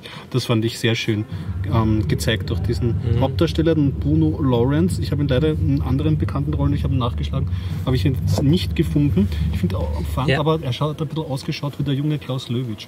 Also kein einziger Schauspieler Ja. auf der Liste ist in irgendeiner Weise sonst Ja, bekannt. ist sonst bekannt. Aber der Film ist gut, den kann man sich wirklich sehr, sehr, sehr gut anschauen. Ist eine absolute Empfehlung und dort halt noch dazu in diesem Setting. Und was ich, was, was, was ähm, also vom Science Fiction im Park war das einfach ideal. Und auch ein Film, ähm, wo es jetzt keinen, für mich zumindest jetzt keinen großen Abbruch getan hat, den auf Deutsch zu sehen. Das hat jetzt auch sehr gut Ja. Also funktioniert. trotzdem, trotzdem gut. Ja, weil du hast dann Kommt äh, nichts relativ weniges, genau, wenige Ja. Sätze. Er hat eh niemand zum Reden. aber genau richtig. Aber, aber, aber es wirkt dann die deutschen Sätze in der Ja. Synchro auch teilweise lustig und, und, und gibt dem Ganzen jetzt keinen, keinen tut ihm keinen Abbruch. Ja, ja. Also das war wirklich ein schönes Filmerlebnis. Mir hat mich auch ein bisschen erinnert, ich meine, da ist er nicht ganz allein, vielleicht nur am Anfang wird das so angedeutet, ähm, an diesen alten Film Omega Man mit dem Charlton Heston. Mhm. Das ist auch so, zumindest am Anfang, wenn er durch die Stadt so ein bisschen Hatten wir schon. Trommeln als Hintergrund. Ja, ja, vor einem Jahr genau Wir sitzen dieselben. wieder in der Nähe von einer Musikuni, oder? Von einem äh, musikwissenschaftlichen Musikinstitut, Institut und da unten äh, probt dienstags immer die Gruppe. Genau. Immerhin, wir hatten schon unmusikalischere Störgeräusche. Ja. Also es ist hochqualitatives Störgeräusch für unsere Verhältnisse. Musikalisch. Ich weiß auch nicht, Das ob wir sie heißt, du, du warst zufrieden mit dem Film? Na, es war ein perfekter Abschluss. Ich war dieses Jahr ja, es war ja zehn Filme, aber ich war nur zu, zu zwei Filmen dort und das waren eigentlich äh, also Blade Runner und der Film und das war und gerade auch dieser dieser Quiet Earth war für mich so dieses Essenz von Science Fiction im Parkerlebnis, wo ich mir gedacht habe, ach herrlich, war ich wieder dort. Und am nächsten Tag hätte sie noch gespielt von Brian De Palma dieses Mission to Mars, aber da konnte ich mich dann nicht dazu entschließen, weil ja ich habe so Bauchweh bei dem Mission to Mars. Das schaue ich mir irgendwann mal an, weil Brian De Palma interessiert mich prinzipiell schon, aber ich glaube, das war eher so ein schrottiger Blockbuster. Ja, der war ich hatte das im schlecht. Gefühl, aber schauen wir mal. Also ich mochte den Film nicht. Ich habe das Ende nie gesehen, weil ich nach zwei Dritteln oder nach drei Vierteln abgeschaltet habe, weil der Film, Ja, das sagen viele. Ich hab fürchte besonders der, im letzten Hälfte wird er dann irgendwann so blöd. Ja. Also Kann man sich ja irgendwann mal so anschauen. ja, wenn man unbedingt will. Ich habe äh, dieser Tage auch einen Film angeschaut, da habe ich das Ende auch nicht. Portrait of a Zombie habe ich mir angeschaut. Das war, ähm, ich kann den nicht empfehlen. Also irgendwann habe ich den einfach nur abgeschaltet. Ja. Es gibt selten Filme, wo ich einfach so abschalte. Ich auch. Also bei mir ist das schon ein großes, großer, muss schon ganz schön schlecht sein, dass ich. Also das nicht Quiet Earth würde ich mal anschauen, noch einmal, wenn ich mir nicht grundsätzlich Filme nicht äh, nur einmal anschauen würde. Ja, ist doch. Der war okay. Ich muss ihn nach ein paar Jahren auch mal wieder sehen. Das ist bei mir auch schon ewig her. Ja, Ich hatte ein Erfolgserlebnis. ja, das muss dokumentiert werden. Das musst du dir anhören in schlechten Zeiten. Genau, ja. Und zwar habe ich es äh, zusammengebracht, einen bürokratischen Vorgang erfolgreich abzuschließen in Wien. Und Ui. äh, nämlich für das Codecamp in Irland äh, wurde verlangt von irischen Eltern ein Anti-Creepness Certificate, also dass ich kein äh, verurteilter Sexverbrecher bin oder sonst in irgendeinem Polizeieintrag habe, dass ich irgendwas Seltsames mit Kindern gemacht habe. Und das gibt's mittlerweile, das ist ein europäisches Formular. Da steht also in unserer nationalen Polizeidatenbank liegt nichts gegen ihn vor und er ist deshalb geeignet, mit Kindern und Jugendlichen zu arbeiten. Das also ist ein zweisprachiges Formular, das kriegst du auch in Österreich. Und ich habe mir auf help.gv.at, der österreichischen Regierung, also Bürokratie, Wegweiserseite mir angeschaut, wie das heißt, wie, was ich für Voraussetzungen habe, was ich mitnehmen muss, um dieses Formular zu kriegen. Unter anderem brauche ich eine Anforderung schriftlich vom potenziellen Arbeitgeber, der mich beschäftigen will. Ja. Das war in dem Fall ich selber, weil ich ja selbstständig bin. Und ja, habe ich mir selber eine Anforderung an mich selber geschrieben, dass ich das brauche und so. Bin mit allen meinen Dokumenten. Ja, dann habe ich noch eingegeben meine Postleitzahl, wo ich wohne. Darauf hat mir HelpGV.at ausgespuckt. Ich soll mich begeben in die Pappenheimgasse, in die Polizei. Ähm, wie heißt das mal, Polizeihauptquartier. Und dort gibt's, äh, kriegt man um 8 Uhr Öffnungszeiten und so kriege ich das. Und ich marschiere mit meinem selbst angeschriebenen äh, Arbeitsgeberanforderungszeugnis, mit meinen Papieren. Punkt 8 Uhr stehe ich vor der Tür, marschiere in den ersten Stock, bin der Zweite und vor mir kommt eine wütende Frau außer aus dem Zimmer und ich schaue, weil an dem Zimmer steht groß Waffenscheine und ähm, polizeiliches, äh, nein, nicht Führungszeugnis heißt das, Ja. Strafregisterauszug ist der deutsche Ausdruck und Strafregisterauszug nicht möglich, mit orangem Filzstift geschrieben auf Papier und hinbiegt. Ich habe es fotografiert und dann bin ich hoffnungsvoll hineingegangen und habe gefragt, äh, ich habe schon gesehen, äh, Strafregisterauszug geht nicht, aber vielleicht internationaler Strafauszug, äh, äh, Entschuldigung, wie heißt das, Führungs, nicht Führungszeugnis, Strafregister, äh, was habe ich vorher gesagt? Dieses Papier halt. Creepiness Paper. Dieses du Creepiness. Paper für Arbeit mit Kindern und Jugendlichen, das gibt's auch nicht. Und dann hat's mich so angeschaut, als nicht nur, ob ich hinter der Mondrückseite wohne, sondern auch, ob ich dort irgendwas Unappetitliches ausgraben habe und jetzt in ihre Amtsstube dran hat. Hat gesagt, na, ich habe ja extra ein Zettel hingehängt, dass es nicht gibt. Und ich habe dann gewagt zu fragen, ja, vielleicht an einem anderen Tag oder so, weiß ich nicht. dann war die Steigerung, äh, wo soll ich hingehen? Woher soll ich das wissen? Und dann habe ich vorgeschlagen, ja, könnten Sie das vielleicht auf helpgv.at hinschreiben, dass, das, dass man das bei Ihnen gar nicht kriegt, weil die haben mich hingeführt. Und dann haben sie mich wirklich so mit der Scheibenwischergeste angeschaut, also sie haben es nicht gemacht, aber halt so mir nonverbal zu verstehen geben, dass ich wirklich ein bisschen schwach vom Begriff bin, haben gesagt, na, sind wir die Gemeinde Wien, wir sind Innenministerium. Ja, und auf die Frage, was soll ich jetzt machen, äh, haben wir uns dann geeinigt, dass ich eine Visitenkarte gekriegt habe, genau von der Abteilung. Und dann rufen sie halt jeden Tag an, ob es dann geht. Und ich habe mich nicht mit I will be back ver- back verabschiedet, sondern mit Sie hören von mir und bin wütend abgestampft. Ja. Und dann habe ich gedacht, wow, das gibt's ja nicht. Der in Irland braucht es, der will die Homepage aufbauen, wir wollen Kunden generieren und ich scheitere da an meinem blöden Pappenheimgassen Polizeihauptquartier. Du Habe, kennst deine Pappen. ja, genau. Ja, ja, ich habe auf der Homepage vom. Innenministerium zu Hause noch einmal nachgeschaut, habe dem Innenministerium angerufen, wurde verbinden, verbunden in dieses Amt für Strafregisterauszug und äh, habe dann dort noch einmal eine Nummer gekriegt und dann habe ich da angerufen und meinen Fall erklärt und wir haben gesagt, ach so, na, funktioniert eh. Und ich habe gesagt, na, Pappenheimgasse haben gesagt, das funktioniert nicht. Aber was renten die, na? Und so, na, ich weiß nichts davon, dass das nicht funktioniert. Ja, und dann habe ich gemeint, naja, wenn sie mich jetzt woanders hinschicken, woher wissen sie dann, ob das dort auch funktioniert? Ne? Und sie meint, na schauen Sie, ich schau grad, na, bei mir funktioniert's, aber bei mir kriegen sie es nicht. und dann haben wir uns, die hat uns einen gewissen Schmäh drauf gehabt. Ja. Ja. Nein, ich, ich habe das versucht mit Humor zu nehmen. Und dann ha, habe ich rausgekriegt, äh, also ich muss gar nicht zur Pappenheimgasse gehen, obwohl ich im zweiten Bezirk wohnhaft bin. Ich kann auf jede Polizeihauptquartier gehen, die das ausstellen kann. Also Polizeibezirksamt oder so heißt das. Und wurde dann verwiesen auf den Deutschmeisterplatz, äh, das ist bei der Rossauer Kaserne in der Nähe.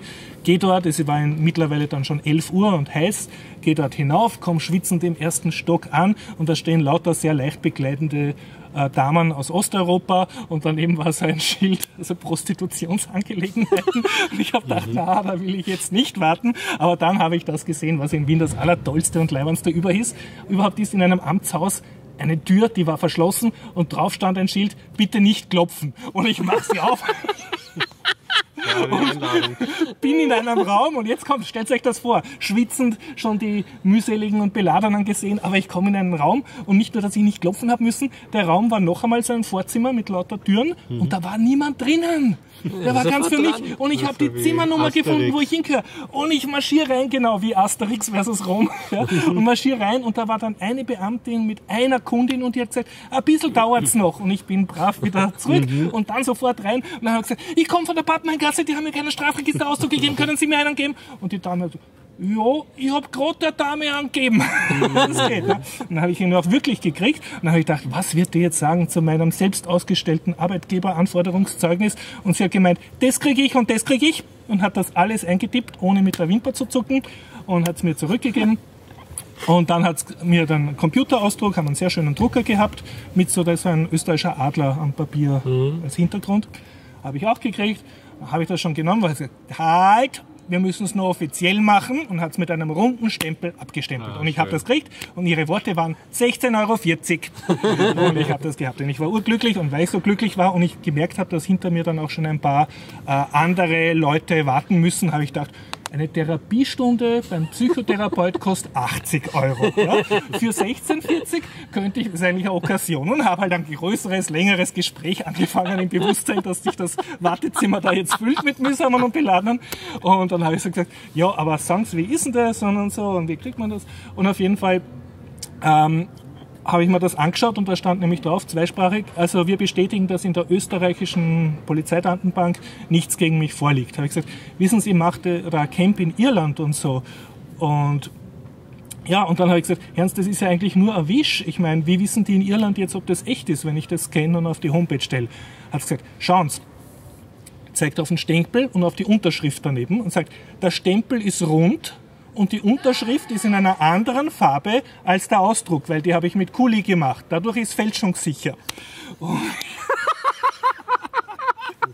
Ich habe ja, naja, aber das könnte ich ja, ich wollte dann jetzt nicht Photoshop oder so diskutieren, aber ich meine, das könnte ich ja auch so auf äh, tun. Das könnte ja trotzdem eine Fälschung sein mit mehreren Farben. Wie wissen die armen Kunden in Irland jetzt, dass das echt ist? Und sie, gar nicht blöd, hat gesagt, sie könnten das Original anfordern.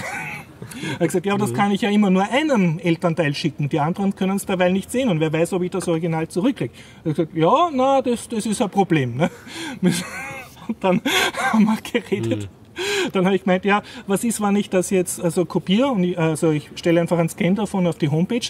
Gibt es da vielleicht eine Prüfziffer oder können die irgendwie anfragen, ob das, was ich da jetzt ins Internet stelle, auch echt ist? Hat gesagt, na, wissen Sie, das ist wegen am Datenschutz, das will man nicht haben, dass Sie die Daten da im Netz haben, weil da steht ja Ihr Name drauf und Ihr Geburtsdatum. das will man das ja das will man nicht. Und habe gesagt, nein, nein, ich will das, ich will, dass die Leute sehen, dass ich kein Creep bin. Ja?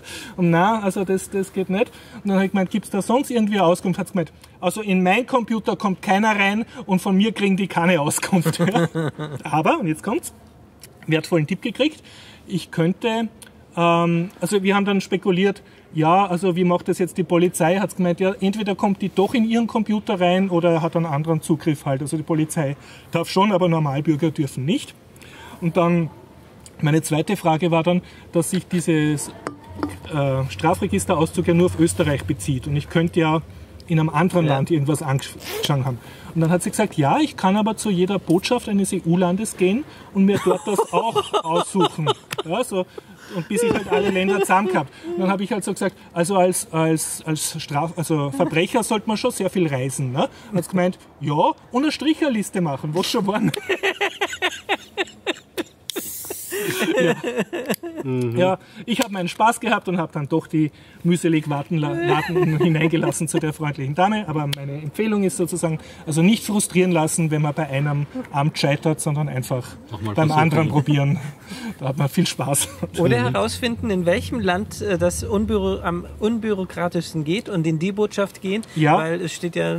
Dazu kann ich Ja. auch was sagen. Also ähm, das Ganze habe ich ja in Irland gemacht und die, meine Kollegen in Irland haben mir gesagt, dass es dort eine eigene Vetting-Agentur gibt, also die diese Zertifikate ausstellt.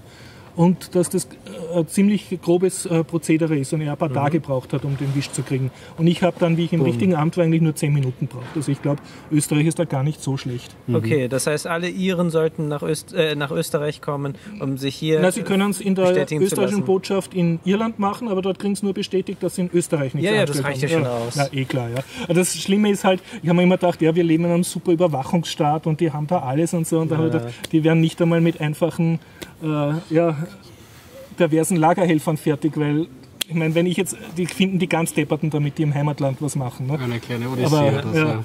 wenn ich, wenn ich schaffe, eine Grenze, eine EU-Grenze zu übertreiben, könnte ich der ärgste Sittenstolch sein und trotzdem hier als Jugend, Jugendhelfer arbeiten. Irgendwo, ne? Darfst du halt in Österreich nichts zu Schaden kommen Ja. lassen. Aber dann gibt es einen internationalen Haftbefehl gegen dich und dann werden sie dich instant anfinden. Ja, aber ähm, das bezieht sich ja, wenn das verjährt, äh, also wenn du gerade aus dem Knast raus bist. Er war zum Beispiel in Ungarn, im, nein, war er nicht, aber äh, Angenommen nicht. angenommen, er wäre in Ungarn im Gefängnis gewesen, dann stünde er immer noch ein leeres Blatt Papier vor ihm. In Österreich, er- ja. Also ja, ich bezweifle. Mhm. dass die das dann austauschen würden. Aber vielleicht sind die schon so toll, dass diese äh, sechs Sachen international austauschen. Ich weiß es nicht, aber es hat nicht danach ausgeschaut. Ja. Außer in Schweden, dann bist du anschließend in der Botschaft in Ecuador und kommst nicht mehr raus. Das ist wieder ein anderes Thema. Na gut, eine Odyssee. Aber erfolgreich. Erfolgreich, erfolgreich. Ich war insofern, aber ich hatte eine viel, viel mildere Geschichte. Ich habe doch mal erzählt, dass ich einen Einzugsauftrag für die GIS ähm, anwerfen wollte. Und die haben eigentlich verlangt, dass man, die haben mir so einen, einen, Ja. einen, einen äh, SEPA-Ermächtigungs, das hat ausgeschaut wie ein Erlagschein, so ein Formular geschickt. Das habe ich ausgefüllt und das hätte ich ihnen postialisch zuschicken sollen. Bin ich aber zu faul gewesen, habe mir gedacht, das muss doch jetzt auch heutzutage digital gehen. Noch dazu Du ich ja- wolltest der, der GIS online regelmäßig an Geld zukommen lassen mit einem Dauerauftrag. Mhm, einen Richtig, und dafür Abschöpfungsauftrag brauchen Sie ein, einmal eine Ermächtigung. Ja, ja. Und die Nein, hätte ich das Ihnen ist eine- ein Einzug, eine Einzugsermächtigung, ja. genau. Und die hätte ich Ihnen aber per Post zuschicken Ja. sollen. Das wollte ich nicht. Und ich als Besitzer ähm, ähm, einer Bürgerkarte eine E-Signatur? habe ich eine E-Signatur angefertigt. Das gibt es von dieser Firma, die diese E-Signaturen Veri, umsetzt. Verisig, oder? Ja, genau, Verisig. Kein sehr hübsches Tool, ich, ähm, gebe ich wohl zu, aber es hat funktioniert und ich habe das so, ähm, ich habe mit meiner, ich habe das ausgefüllt, mit meinem, mit meinem Smartphone das abfotografiert, noch die Ränder weggeschnitten, dann das durch dieses ähm, Online-Tool geschickt, da war dann meine digitale Signatur drauf und dann habe ich ihnen eine E-Mail geschrieben mit dem als Anhang und habe gesagt, hier bitte, das ist gültig nach so und so und Ja, so ja. und bitte nehmt das an und weiß nicht, eine Woche später ist eine E-Mail gekommen, passt, danke. Boah. Und das hat mich wirklich. Jetzt bin ich ganz begeistert. Was kann ich noch alles digital unterschreiben? Vielleicht sollte ich Autogrammkarten. Ich wollte Oder ist das eher bedenklich, wenn ich das mache? Autogrammkarten. Wenn ich, wenn ich Fotos von mir anfertige und das PDF und dann hochlade und digital unterschreibe. Vielleicht so ein Foto mit mir als mit Telefonhörer, so wie ein Korrespondent. Das hätte ich gerne. Also wenn das jemand Die sind möchte, aber nicht einmalig. höre, sowieso. Ja, sind die nicht, was meinst du? Das sind Ach so, du müsstest für jeden extra. Also ja, genau. jeder, der ich- antwortet, das ist natürlich, das ist wie beim echten Autogrammen, muss ich Ja, auch immer das extra ist machen. sogar noch mehr Arbeit, als Also, wenn du es wenn das wer will, dann, dann schicke ich ihm eine Autogrammkarte. Ja. Aber ich, das erinnert mich daran, die GIS abzumelden. Weil ich gucke kein Fernsehen, ähm, ich kann, Radio habe ich auch schon keins mehr. GIS für, heißt das in Deutschland auch so? Ge- GEZ. Informationsstelle. Okay, okay. Da, Also in wie Deutschland heißt es GZ, aber sozusagen. dort ist es ja jetzt eine Steuer, wenn man es genau nimmt. Aber es wird immer noch Gebühr, Haushaltsabgabe Den genannt. Radiotune aus deinem Handy beißt du auch heraus. Ähm, ich habe keinen in meinem Ah, keine? Na, ich habe nichts mehr inzwischen. Wirklich? Und mein Fernseher ähm, kann hier in Österreich keinen, äh, keinen, keinen einzigen Sender empfangen, weil das ähm, Analog. ja nicht analog, sondern der hat kein ähm, Empfangsmodul drin. Also Ja. beim Radio bin ich nicht ausgekommen. Also Fernseher konnte ich noch verargumentieren, aber dann haben sie mich ziemlich bald auf Richtung Radio. Und da, das fand ich auch in Ordnung, weil schließlich das konsumiere ich auch tatsächlich jeden Morgen eins. Das finde ich auch vollkommen in Ordnung, dass ich dafür entrichte. Ja. Inzwischen habe ich nichts mehr. Noch besser.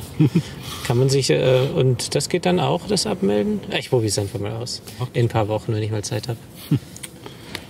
Ich habe einen Film und zwei Bücher. Ich habe ein Spiel, das kann ich irgendwann mal auf so reinknicken. Aber da kann. Stefan, du Ich bist schon ändere mein. Leben. Du änderst dein Leben. Das, das, das, das, Also, das gehört vorgereiht. Das ist ja, wichtig. Ja, das, das- ist, das viel wichtig. wichtiger. Wie änderst du dein Leben? Nein, ich bereite mich ja vor für nächstes Jahr, für den Biertaucher Marathon. Staffel- Marathon. Auftritt. Alle Biertaucher schon schuldig trink. auf ihre... Äh, Darum versuche ich wenigstens eine Stunde am Tag Sport zu machen oder mehr. Ja, das inkludiert jetzt nicht Radfahren, sondern extra noch einmal Sport. Das inkludiert auch ah, schon, Radfahren. Radfahren, okay, ja. Äh, oder Laufen, je Mhm, nachdem. Äh, und als hübsche Ausflugsziele bieten sich an, die ich jetzt aufgesucht habe, die Jubiläumswarte mit herrlichem Überblick über Wien. Mhm. ja. Empfehle ich sehr. Was ich nicht empfehlen kann, ist Schloss Laudon, da kommt man nicht rein. Äh, nur Bedienstete dürfen haben Zutritt. Jetzt weißt du, warum der Fluch heißt Fixlaudern. Ja, vom Innenministerium, genau. Äh, und äh, trecke jetzt auch mein Gewicht. Und wer das auch tun will, den lade ich herzlich dazu ein, es mitzutracken. Auf der Webseite bmi.mittenin.at. BMI. Punkt, Mittenin.at. mitten in. Genau. Welches, ins- äh, welches äh, Amt ist das nochmal? Äh. Bundesministerium für Inneres. Das ist das Ach Stefan. so, Inneres. Das Amt. Oh, das sind Mäuse. Ja. Wir sind in der Nähe von einem Mistkübel und da. Also die, die Raschelstörgeräusche sind von kleinen Mäusen. Ich habe das sind Ratten. Ist die gerade in meinen Rucksack reingekrabbelt? Na, sie Bestimmt. hat wieder Angst gehabt. Sie ist wieder nur da und da zurück. Na, die trinkt gerade ein Bier. Das ist schon leer. Okay, also und diese Webseite, wo man sein, das ist jetzt nicht urpeinlich, weil wenn der dann raufgeht, Ja. der BMI, dann wissen das ja alle. Eben. Ganz im Gegensatz zu, wenn es mich anschauen, dann hätten sie das nie rauskriegen, dass ich Plader geworden bin. Und darum exponiere ich mich auf die Ja. Art und Weise. Wer will, Dass du da einen Social-Druck hast. Genau, Ja. ganz genau. Und wer aber den Social-Druck nicht haben will, Ja. kann auch die Webseite forken und das selber woanders hosten. Ah, ist das eine halbwegs offene Webseite oder Jupp, hast du die gemacht? Oder? jupp. Ah, geil. ja, na dann wird das ja gleich. Ja, Können ja. wir Social Upnaming Und, machen. die ist, so, und die ist auf GitHub oder Äh, die ist Wie kann ich das gehostet forken? auf meinem Rechner Ja. oder du kannst sie auf GitHub forken. kann ich sie auf GitHub folgen? Sagst du das GitHub-Projektnamen dazu? Äh, ist verlinkt auf der Webseite rechts oben vor Okay, mir und okay, GitHub. passt. Okay, ja, cool, ja. Das heißt, Mischung Projekt. aus, aus Ich habe Social das Presse der Tweezer, glaube ich, hat das auch ein Ja. bisschen. Aber ich weiß Cool, nicht, ja. wie er das technisch ähm, umgesetzt hat dann. Na, Ich habe das einmal vor drei Jahren geschrieben und zeichne jetzt, glaube ich, so knapp drei damals Jahre wolltest schon, geht also Immer wieder, immer wieder, wenn ich Runter, motiviert bin, geht's geht's runter runter und dann dann ich hat es wieder und dann bin ich wieder faul, dann geht's Achso, du meinst, raus. der ständige Druck jetzt zwingt Und dich zum. jetzt habe ich es publiziert, jetzt, Ja, na, jetzt ja. muss ich, jetzt muss ich. Ich muss sagen, der, der Stefan schaut auch schon viel schlanker aus. Also ich fühle mich relativ noch blader, nur weil der Stefan jetzt schon gefühlt zwei Zentimeter schlanker ist. Ja, ja. Ja, cool. Das hast du denn damals 9 PHP geschrieben? Nein, das ist Rails. Ah. Gott sei Mach mir ein Bier auf nach diesem Thema. Na, mir ist die Lust auf Bier jetzt schon vergangen. Ja, ich nehme auch Zitiere dich derzeit auf. Eiran über dein Haupt. Ich habe eine Frage an euch zu Mhm. einem Buch, weil du zuerst gesagt hast, Buch. Habt ihr entweder gelesen The Meaning of Life von Ja. Douglas Adams? Ist das empfehlenswert? Nein. Oder, Entschuldigung, ich habe es damals gelesen, wie mir Englisch nicht sehr gefallen hat, aber ich finde es auch jetzt ein ziemlich jetzt komisches überlegen, Konzept. oder die entsprechende deutsche Variante dazu ist vom Sven Böck- Böttcher Labenz. Und die Idee dahinter ist, dass Begriffe neu Ja. erfunden werden Ah ja. für Gegenstände oder vertraute Erfahrungen, für die es noch bisher keine Bezeichnung gibt. Und zwar sind, ist der Begriff, der erfunden wird, immer eine Ortsbezeichnung, die so ähnlich klingt wie das irgendwie. Und ich finde, es klingt ganz witzig und bin am überlegen, ob ich mir es jetzt kaufe. Und wenn dann die Frage, das von Douglas Adams das Original oder das Deutsche, was nicht, also keine Übersetzung ist, sondern nur die gleiche Idee Ja, wieder ja. aufgreift. Ob das wer von euch gelesen hat. Also ich habe es nicht gelesen, aber mir hat schon jemand von erzählt und war ähm, vollauf begeistert. Vom von, dem, englischen Original, von beiden. von beiden. Ja, die sind, man kann, äh, es lohnt sich anscheinend äh, beide Versionen zu lesen, weil sie wirklich ähm, kaum eine, keine besonders große Schnittmenge haben. Also muss sich wohl lohnen. Da kommen sowas wie Schaukel vor für irgendetwas, ich weiß auch nicht mehr genau. Ich habe es halt nur erzählt bekommen und ähm, ja, ich wollte es mir auch mal anschaffen. Na, wenn wir Und Douglas Geld auf Adams, Amazon werfen. Ja. Douglas Adams ist sowieso zu empfehlen. Die, wie heißt sie, die vierteilige Trilogie in fünf Bänden. Ja, die ist eh Klassiker. Und Last Chance to See, falls du das noch nicht hast vom Douglas Adams. Ist Nein, sehr kenn ich auch empfehlenswert. Über aussterbende Tierarten. Ich Hat hab eine Reise gemacht mit einem sehr berühmten Mhm. Biologen. Und das wurde dann sogar noch mal nachgedreht mit äh, BBC, also schon er lang tot war, haben diese Schauplätze noch einmal alle besucht und eine BBC-Serie draus gemacht. Ich, ich habe jetzt gerade so ein bisschen ein Douglas Adams-Erlebnis. Ich habe es euch eh schon erzählt, ich lese gerade vom Stanislav Lem die Sterntagebücher. Ah, und, Und ich, ich fühle mich halt total erinnert, aber der Also ich bin auch, ich bin begeistert und fasziniert, aber ich glaube erst die ersten drei, vier Geschichten gelesen über den Ideenreichtum und über die sprachliche Kreativität. Es muss, es schreibt, äh, auch im Wikipedia-Artikel steht, es ist sehr schwierig zu übersetzen, die Übersetzerfluch. Du liest sie auf und Deutsch. ich lese sie auf Deutsch, Ja, ja. ja. Und äh, bin aber bis jetzt, es ist fordernd, Mhm. weil es ist wirklich so dicht und manchmal springt er von einer Idee Mhm. zur anderen und man, man staunt nur so, in was für Abenteuer er sich stürzt, von einem Satz zum anderen. Aber ich bin zurzeit begeistert und ich wollte eigentlich mal nachrecherchieren, ob sich der Lem und der Adams vielleicht einmal irgendwie äh, getroffen haben. haben und Mhm. Ding. Es wäre doch mal spannend, ob sich die mal ausgetauscht hätten, weil das, das, das fände ich spannend. Das ist eine Biertaucher. Ähm, Das mache ich ja, mal. Recherche, ja. Also das, das, das würde ich nachschauen. ich meinte einen Aufruf an Ja, die Zuhörer genau. herauszufinden, ob Statt Adams Feedback und, löst unsere Hausaufgaben. Genau, recherchiert. Ja, genau. Recherchiert für uns, wir recherchieren nicht. Jetzt gehen hier die Lichter an. Und das Weitere, also ich bin gerade zur Zeit, ähm, spiele ich wieder, äh, nämlich ähm, in 80 Tagen um die Welt, 80 Days heißt es auf Englisch, ist ein, ein Spiel ausschließlich für iOS und Android. So Ah. am Tablet. Also, okay. Und das ist ein Computerspiel. Es ist ein Computerspiel. Und das ist ein Spiel, davor ich jetzt den dritten Anlauf gebraucht habe, weil die ersten beiden Male hat es bei mir überhaupt nicht funktioniert.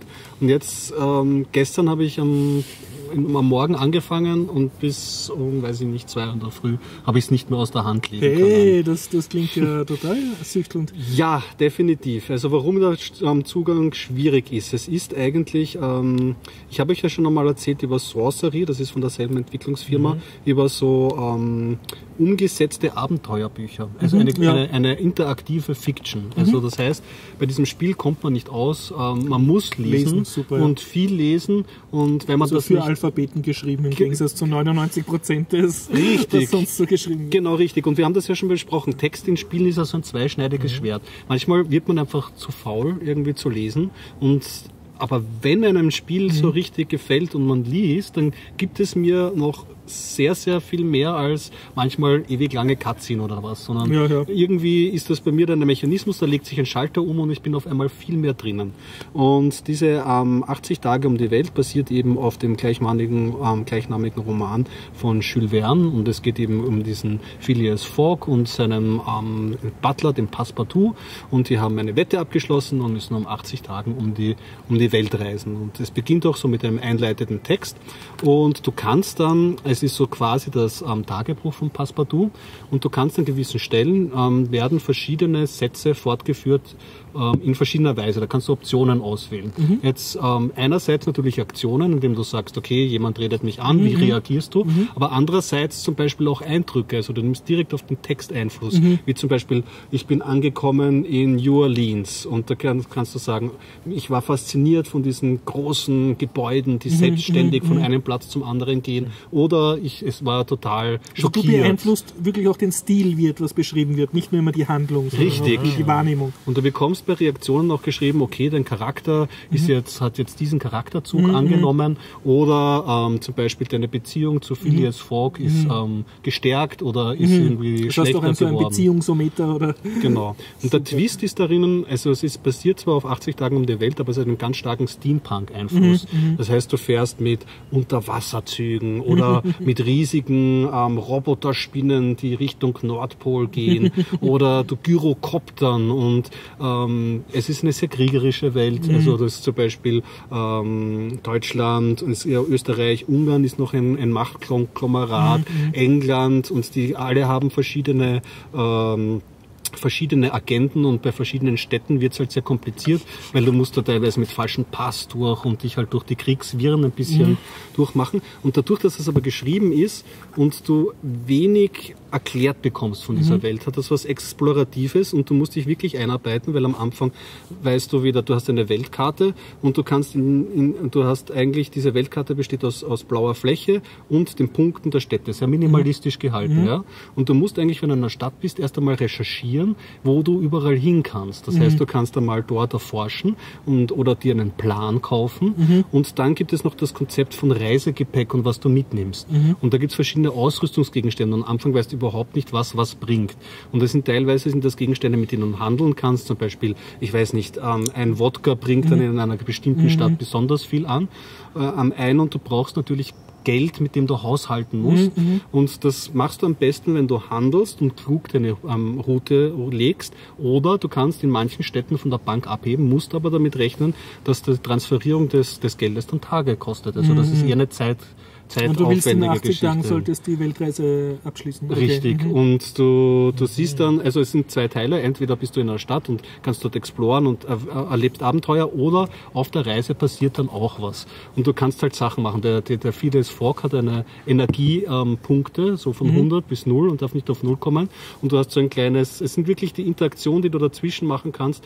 Du musst lesen, weil die Interaktion ist allein zu wenig, aber wenn du es mitliest, ist es eigentlich eine perfekt schöne, runde Mischung. Mhm. Und es präsentiert sich das Ganze auch in einem sehr slicken, schönen, einfachen Look und man merkt so richtig, diese App ist fürs Tablet gemacht. Mhm. Also dieses andere Spiel von dieser Firma, das Sorcery, das habe ich auch schon erzählt, da merkt man auch so richtig, die haben für dieses Device, also für, die, für dieses richtig mal Medium, fürs Device fürs gearbeitet Device gearbeitet. Das ist kein Klick zu viel und es fühlt sich alles rund und schnell an und auch die Mischung aus Text und Interaktion ist, ist, ist, ist irgendwie gut und, und ausgewogen. Und die Geschichten, die man erlebt, das ist halt wirklich schön. Da wird das ist eigentlich inter, ähm, ähm, interaktive Fiction at its best, weil es kommen Charaktere vor die, und dann kommen, kommen diese vielleicht Erfolgecharaktere, die diese anderen Charaktere gekannt haben, kommen dann in einem späteren Verlauf vor und sie, diese Welt wird dann wirklich ähm, reich, reichhaltig beschrieben. Zum Beispiel, also es gibt dann eine eigene Gilde, die diese Steampunk-Maschinen, die Automatons nennen sie sich, ähm, also die, die Maschinen heißen Automatons und die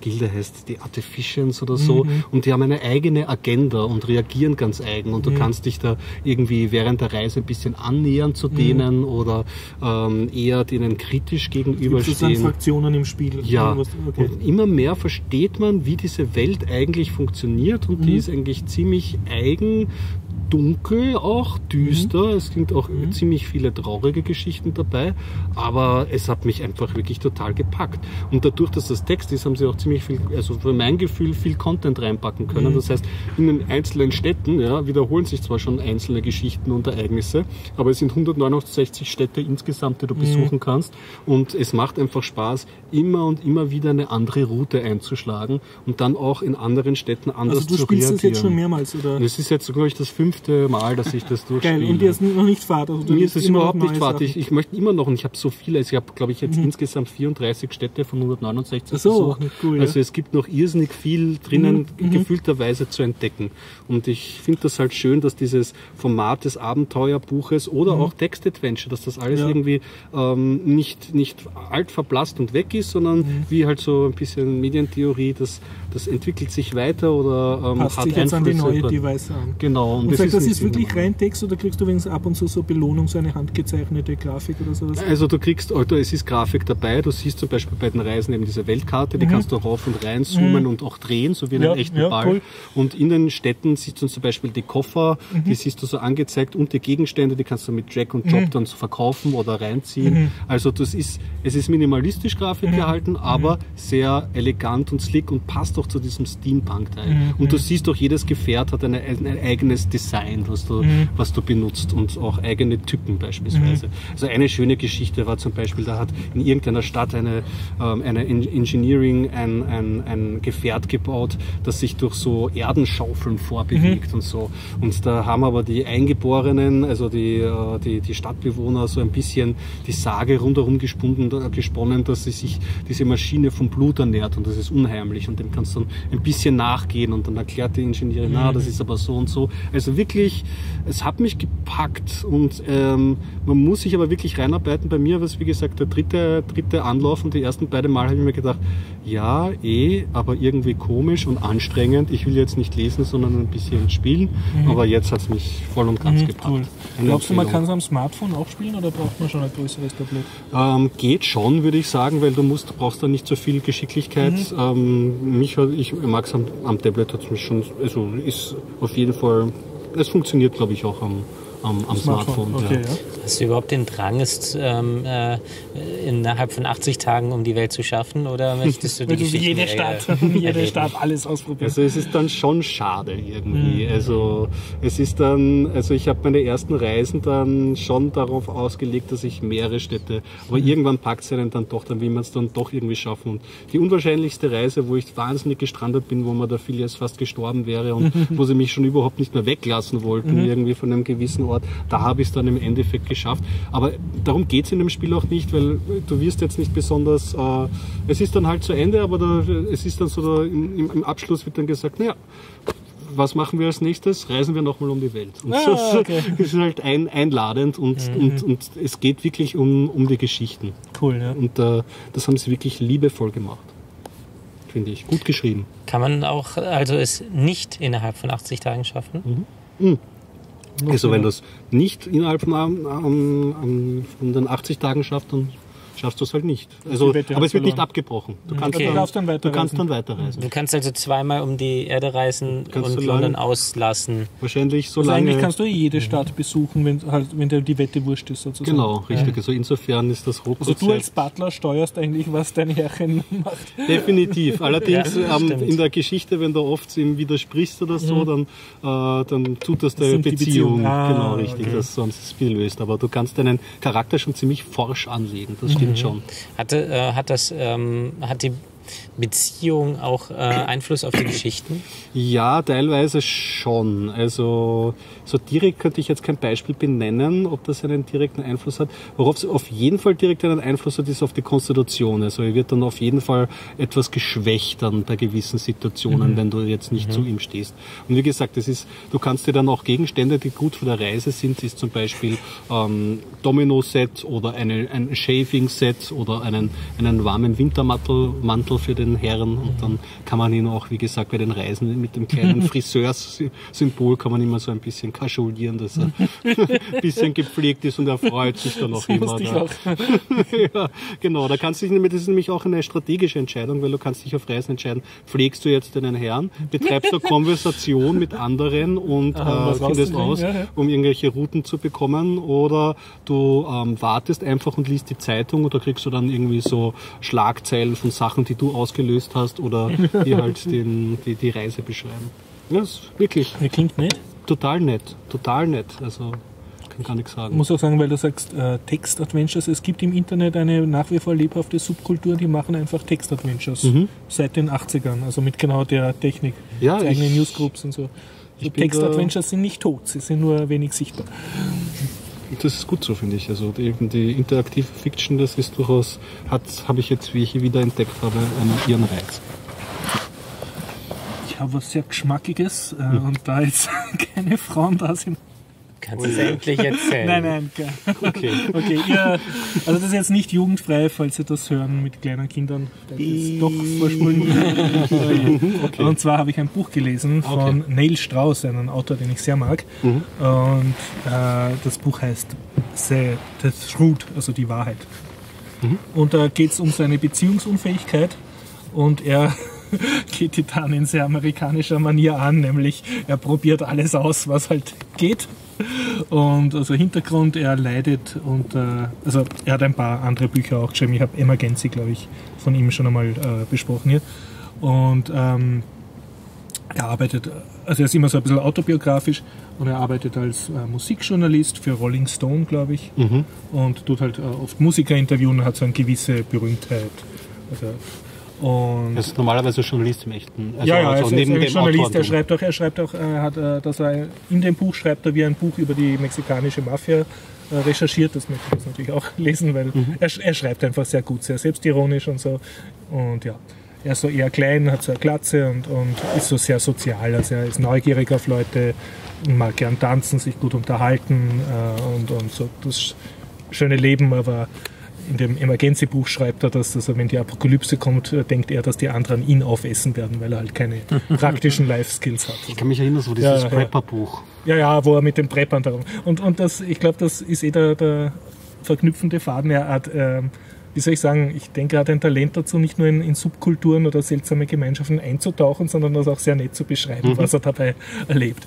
Ja, und hier geht es auf jeden Fall, er ist eh, also Richmans Problem, er ist eh glücklich und erfolgreich und hat eine super Freundin äh, mit deutschen Namen sogar und, und die liebt ihn und alles und er könnte eigentlich der glücklichste Mann der Welt sein, aber er ist nicht glücklich. Es fehlt ihm was. Ne? Und was fehlt ihm? Und das kommt dann so raus, also er betrügt sie. Mhm. Und warum betrügt er sie? Ja, mh, mm, er, er, ist halt neugierig, also auf andere Menschen und er, er, will halt sozusagen sich nicht einschränken.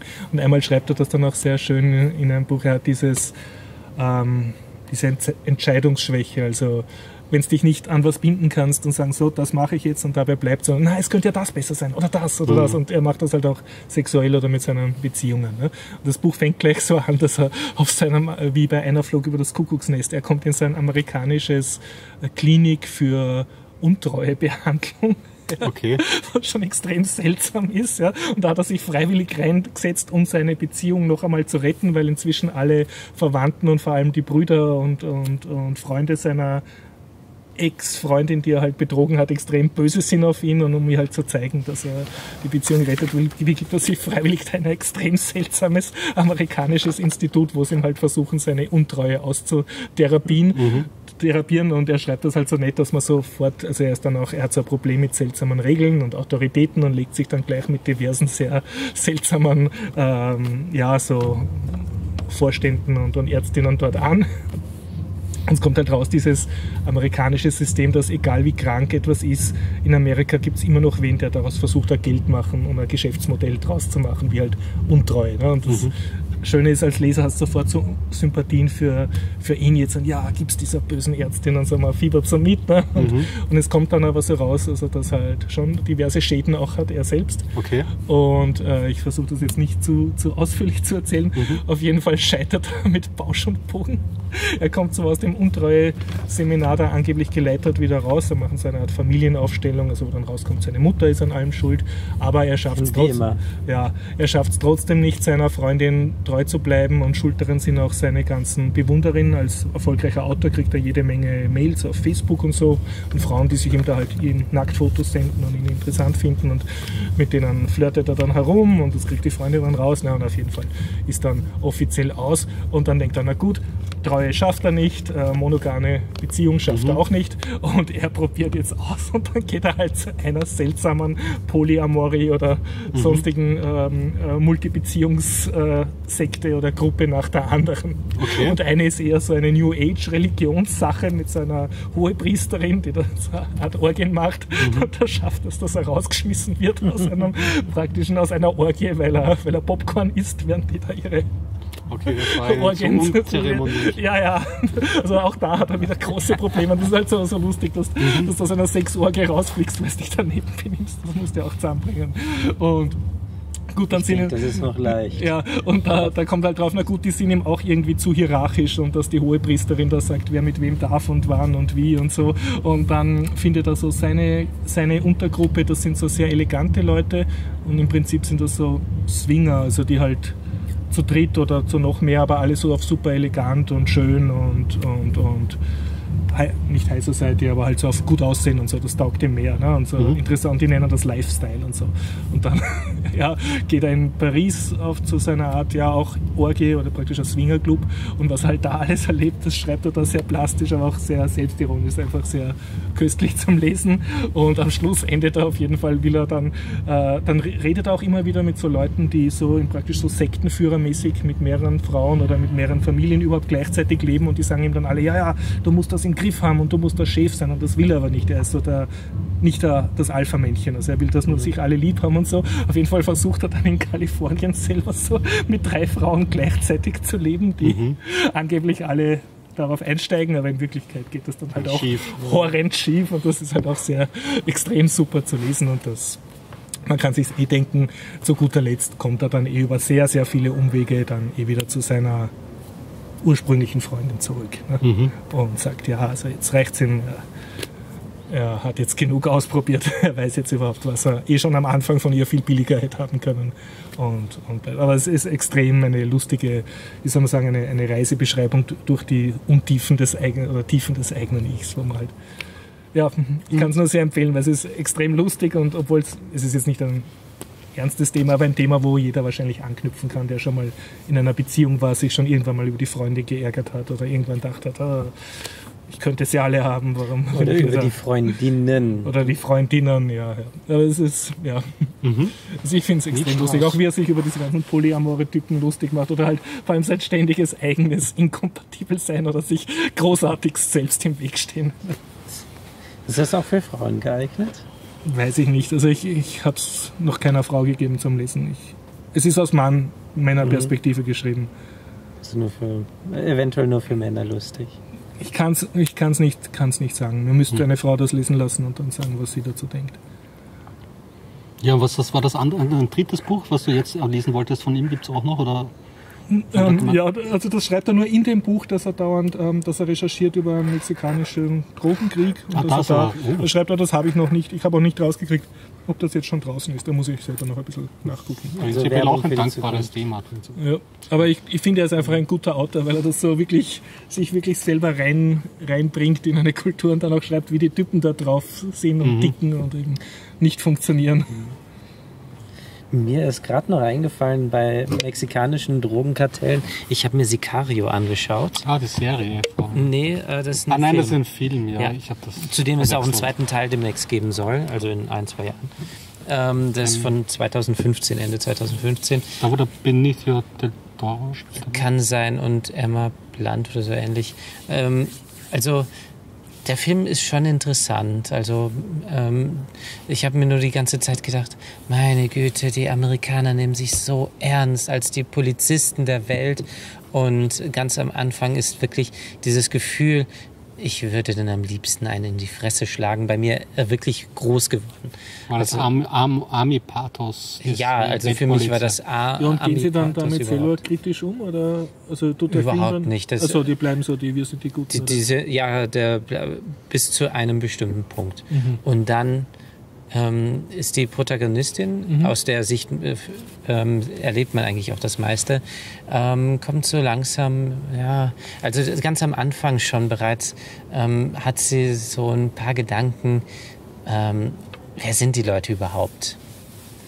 Also das musst du dir vorstellen, CIA und du wirst denen zugewiesen und wer sind die Leute überhaupt? Mit denen muss ich jetzt zusammenarbeiten. Und sie ist da, fühlt sich ein bisschen ausgenutzt und ihr Partner ebenso.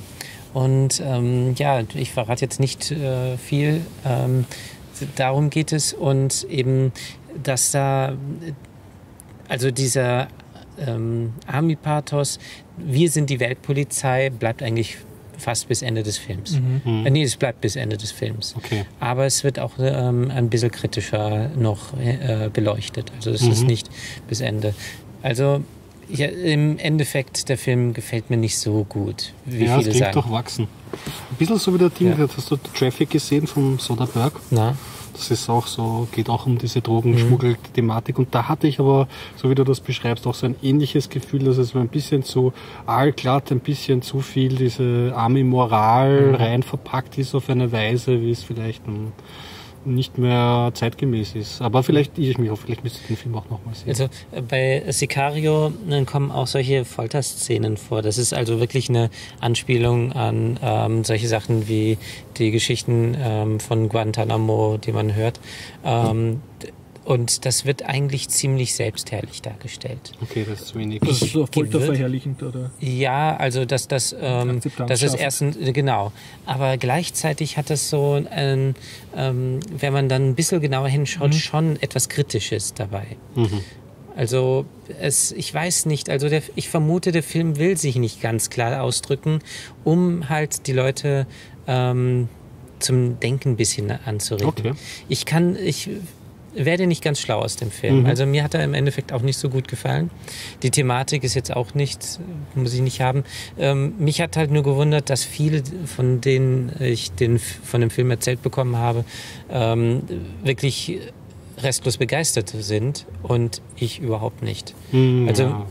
wenn ein Film wirklich gut ist, mag ich den meistens schon, aber bei dem hat mir irgendwie der Anschluss gefehlt. Okay. Naja, ich habe ihn auch irgendwie so, ja, ich habe ihn auf den Plakaten gesehen, hat mich damals schon nicht so interessiert. Ja. Aber vielleicht, wenn er mal auf Amazon Prime oder so vor, vorbeirauscht, schaue ich ihn mal an. Ein Ding spielen sie übrigens gerade auf Amazon Prime, den habe ich ganz oben auf der Liste, weil du Den empfohlen hast, den Kannibalen. Den Wie heißt das? Kannibalen. Die, die, mit diesen deutschen Schauspielern. Ach so, äh, Zeit der Kannibalen. Zeit der Kannibalen. Ja. Den, den, der steht, den will ich heute oder morgen. Mhm. steht auf der Liste. Und du wolltest auch noch ähm, M so ja, dran, oder? natürlich. M haben wir äh, noch. der Das ist auch ein Mabuse. Auftrag an dich, Horst, den hast du wolltest So, du auch sehen. sollte mal ganz schauen. Ja. Gut. Ich glaub, Angesichts des Feedbacks, dass wir nicht gar so lang sein sollen, Ja. schreibe ich mir einen Film und ein Buch auf. Für, Ja, wir haben jetzt ungefähr eine Viertelstunde früher Schluss gemacht. das- sehr gut. für mal ein Dreiviertelstunde jetzt. Oder? Guter Spielfilm. Äh, weiß ich jetzt ehrlich gesagt nicht. Und äh, da ihr Themen habt, zu denen ich auch absolut keine Ahnung hatte, habe ich auch nicht so viel reingelabert. Zu das Boot möchte ich noch sagen, doch, ich habe recht. Der Apropos Von letzter Woche. Wir, wir haben letzte doch, Wort. ja, genau, richtig. Das lasse ich jetzt nicht nehmen. Das letzte Wort. Äh, Das war, äh, wir haben doch letzte Woche über Erwin Leder gesprochen, Nein, oder? über Jürgen Prochnow. Jürgen Ah, okay, gut. Na gut. Ich habe dass Ja, der dann war es tatsächlich nicht das Gespenst, aber ähm, äh, es war auch eine andere Rolle. Okay. Mhm, Ja. ja. Also Jürgen Prochnow, Prochnow war nicht das Gespenst, das ist Erwin Leder und das war der, ähm, äh, das Gespenst ist der, der ähm, äh, den Motor betrieben hat. Nicht der Kommandant. Okay, ja. Jürgen Prochnow, wie gesagt, schaut ähnlich aus wie Captain Adama. Und wir haben Jürgen Prochnow auch noch sehr kurz und schön. Na, na irre ich mich. Na, ich nehme alles zurück, weil ich begebe mich auf dünnes Eis. Äh, ja. Ich muss noch aufrufen für noch mehr Feedback. Hm? Mach Es folgt der Feedback-Aufruf. Also wenn Sie noch nicht genug äh, Feedback-Verlesung hatten, also bitte auch Ihr Feedback ist willkommen. Einfach den in den Shownote verlinkten Google Form Link anklicken und ausfüllen und sofern das gewünscht ist, wird das Feedback auch verlesen. Ich würde Kann sagen, die. Option rausnehmen, wo nicht verlesen, rausnehmen. Nein, also ich verlese es sowieso. Ich, äh, es ist nur optional, ob man Namen dazu tut. Na, na, ich habe sogar Spalte, auch, ob man ja, will, ja. dass man es verlesen wird. Also das, das kann man auch auf Nein schalten, dann wird es nicht verlesen. Ja ganz, Dann nehmen wir es nur zu Herzen. dann in der Pre-Production tun wir das dann ordentlich abdiskutieren. Gut, dann sage ich bis nächste Woche. Schön war's. Höchstwahrscheinlich wieder Dienstag 19.30 Uhr, 19:30. altes AKH, Treffpunkt im Innenhof 2. Meistens verziehen wir uns jetzt in einen anderen Innenhof immer dann Ja. zum wirklich Aufnehmen. Also bitte relativ EM. pünktlich kommen. Und Backups machen. Unbedingt. Stimmt, du hattest noch einen, Z- auf einen Zettel geschrieben. Backups. Ja, okay, dann. Äh, Gut. okay. Also, Jo, schön was. tschüss. Danke Tschüss. fürs Zuhören. Bis Tschüss. dann.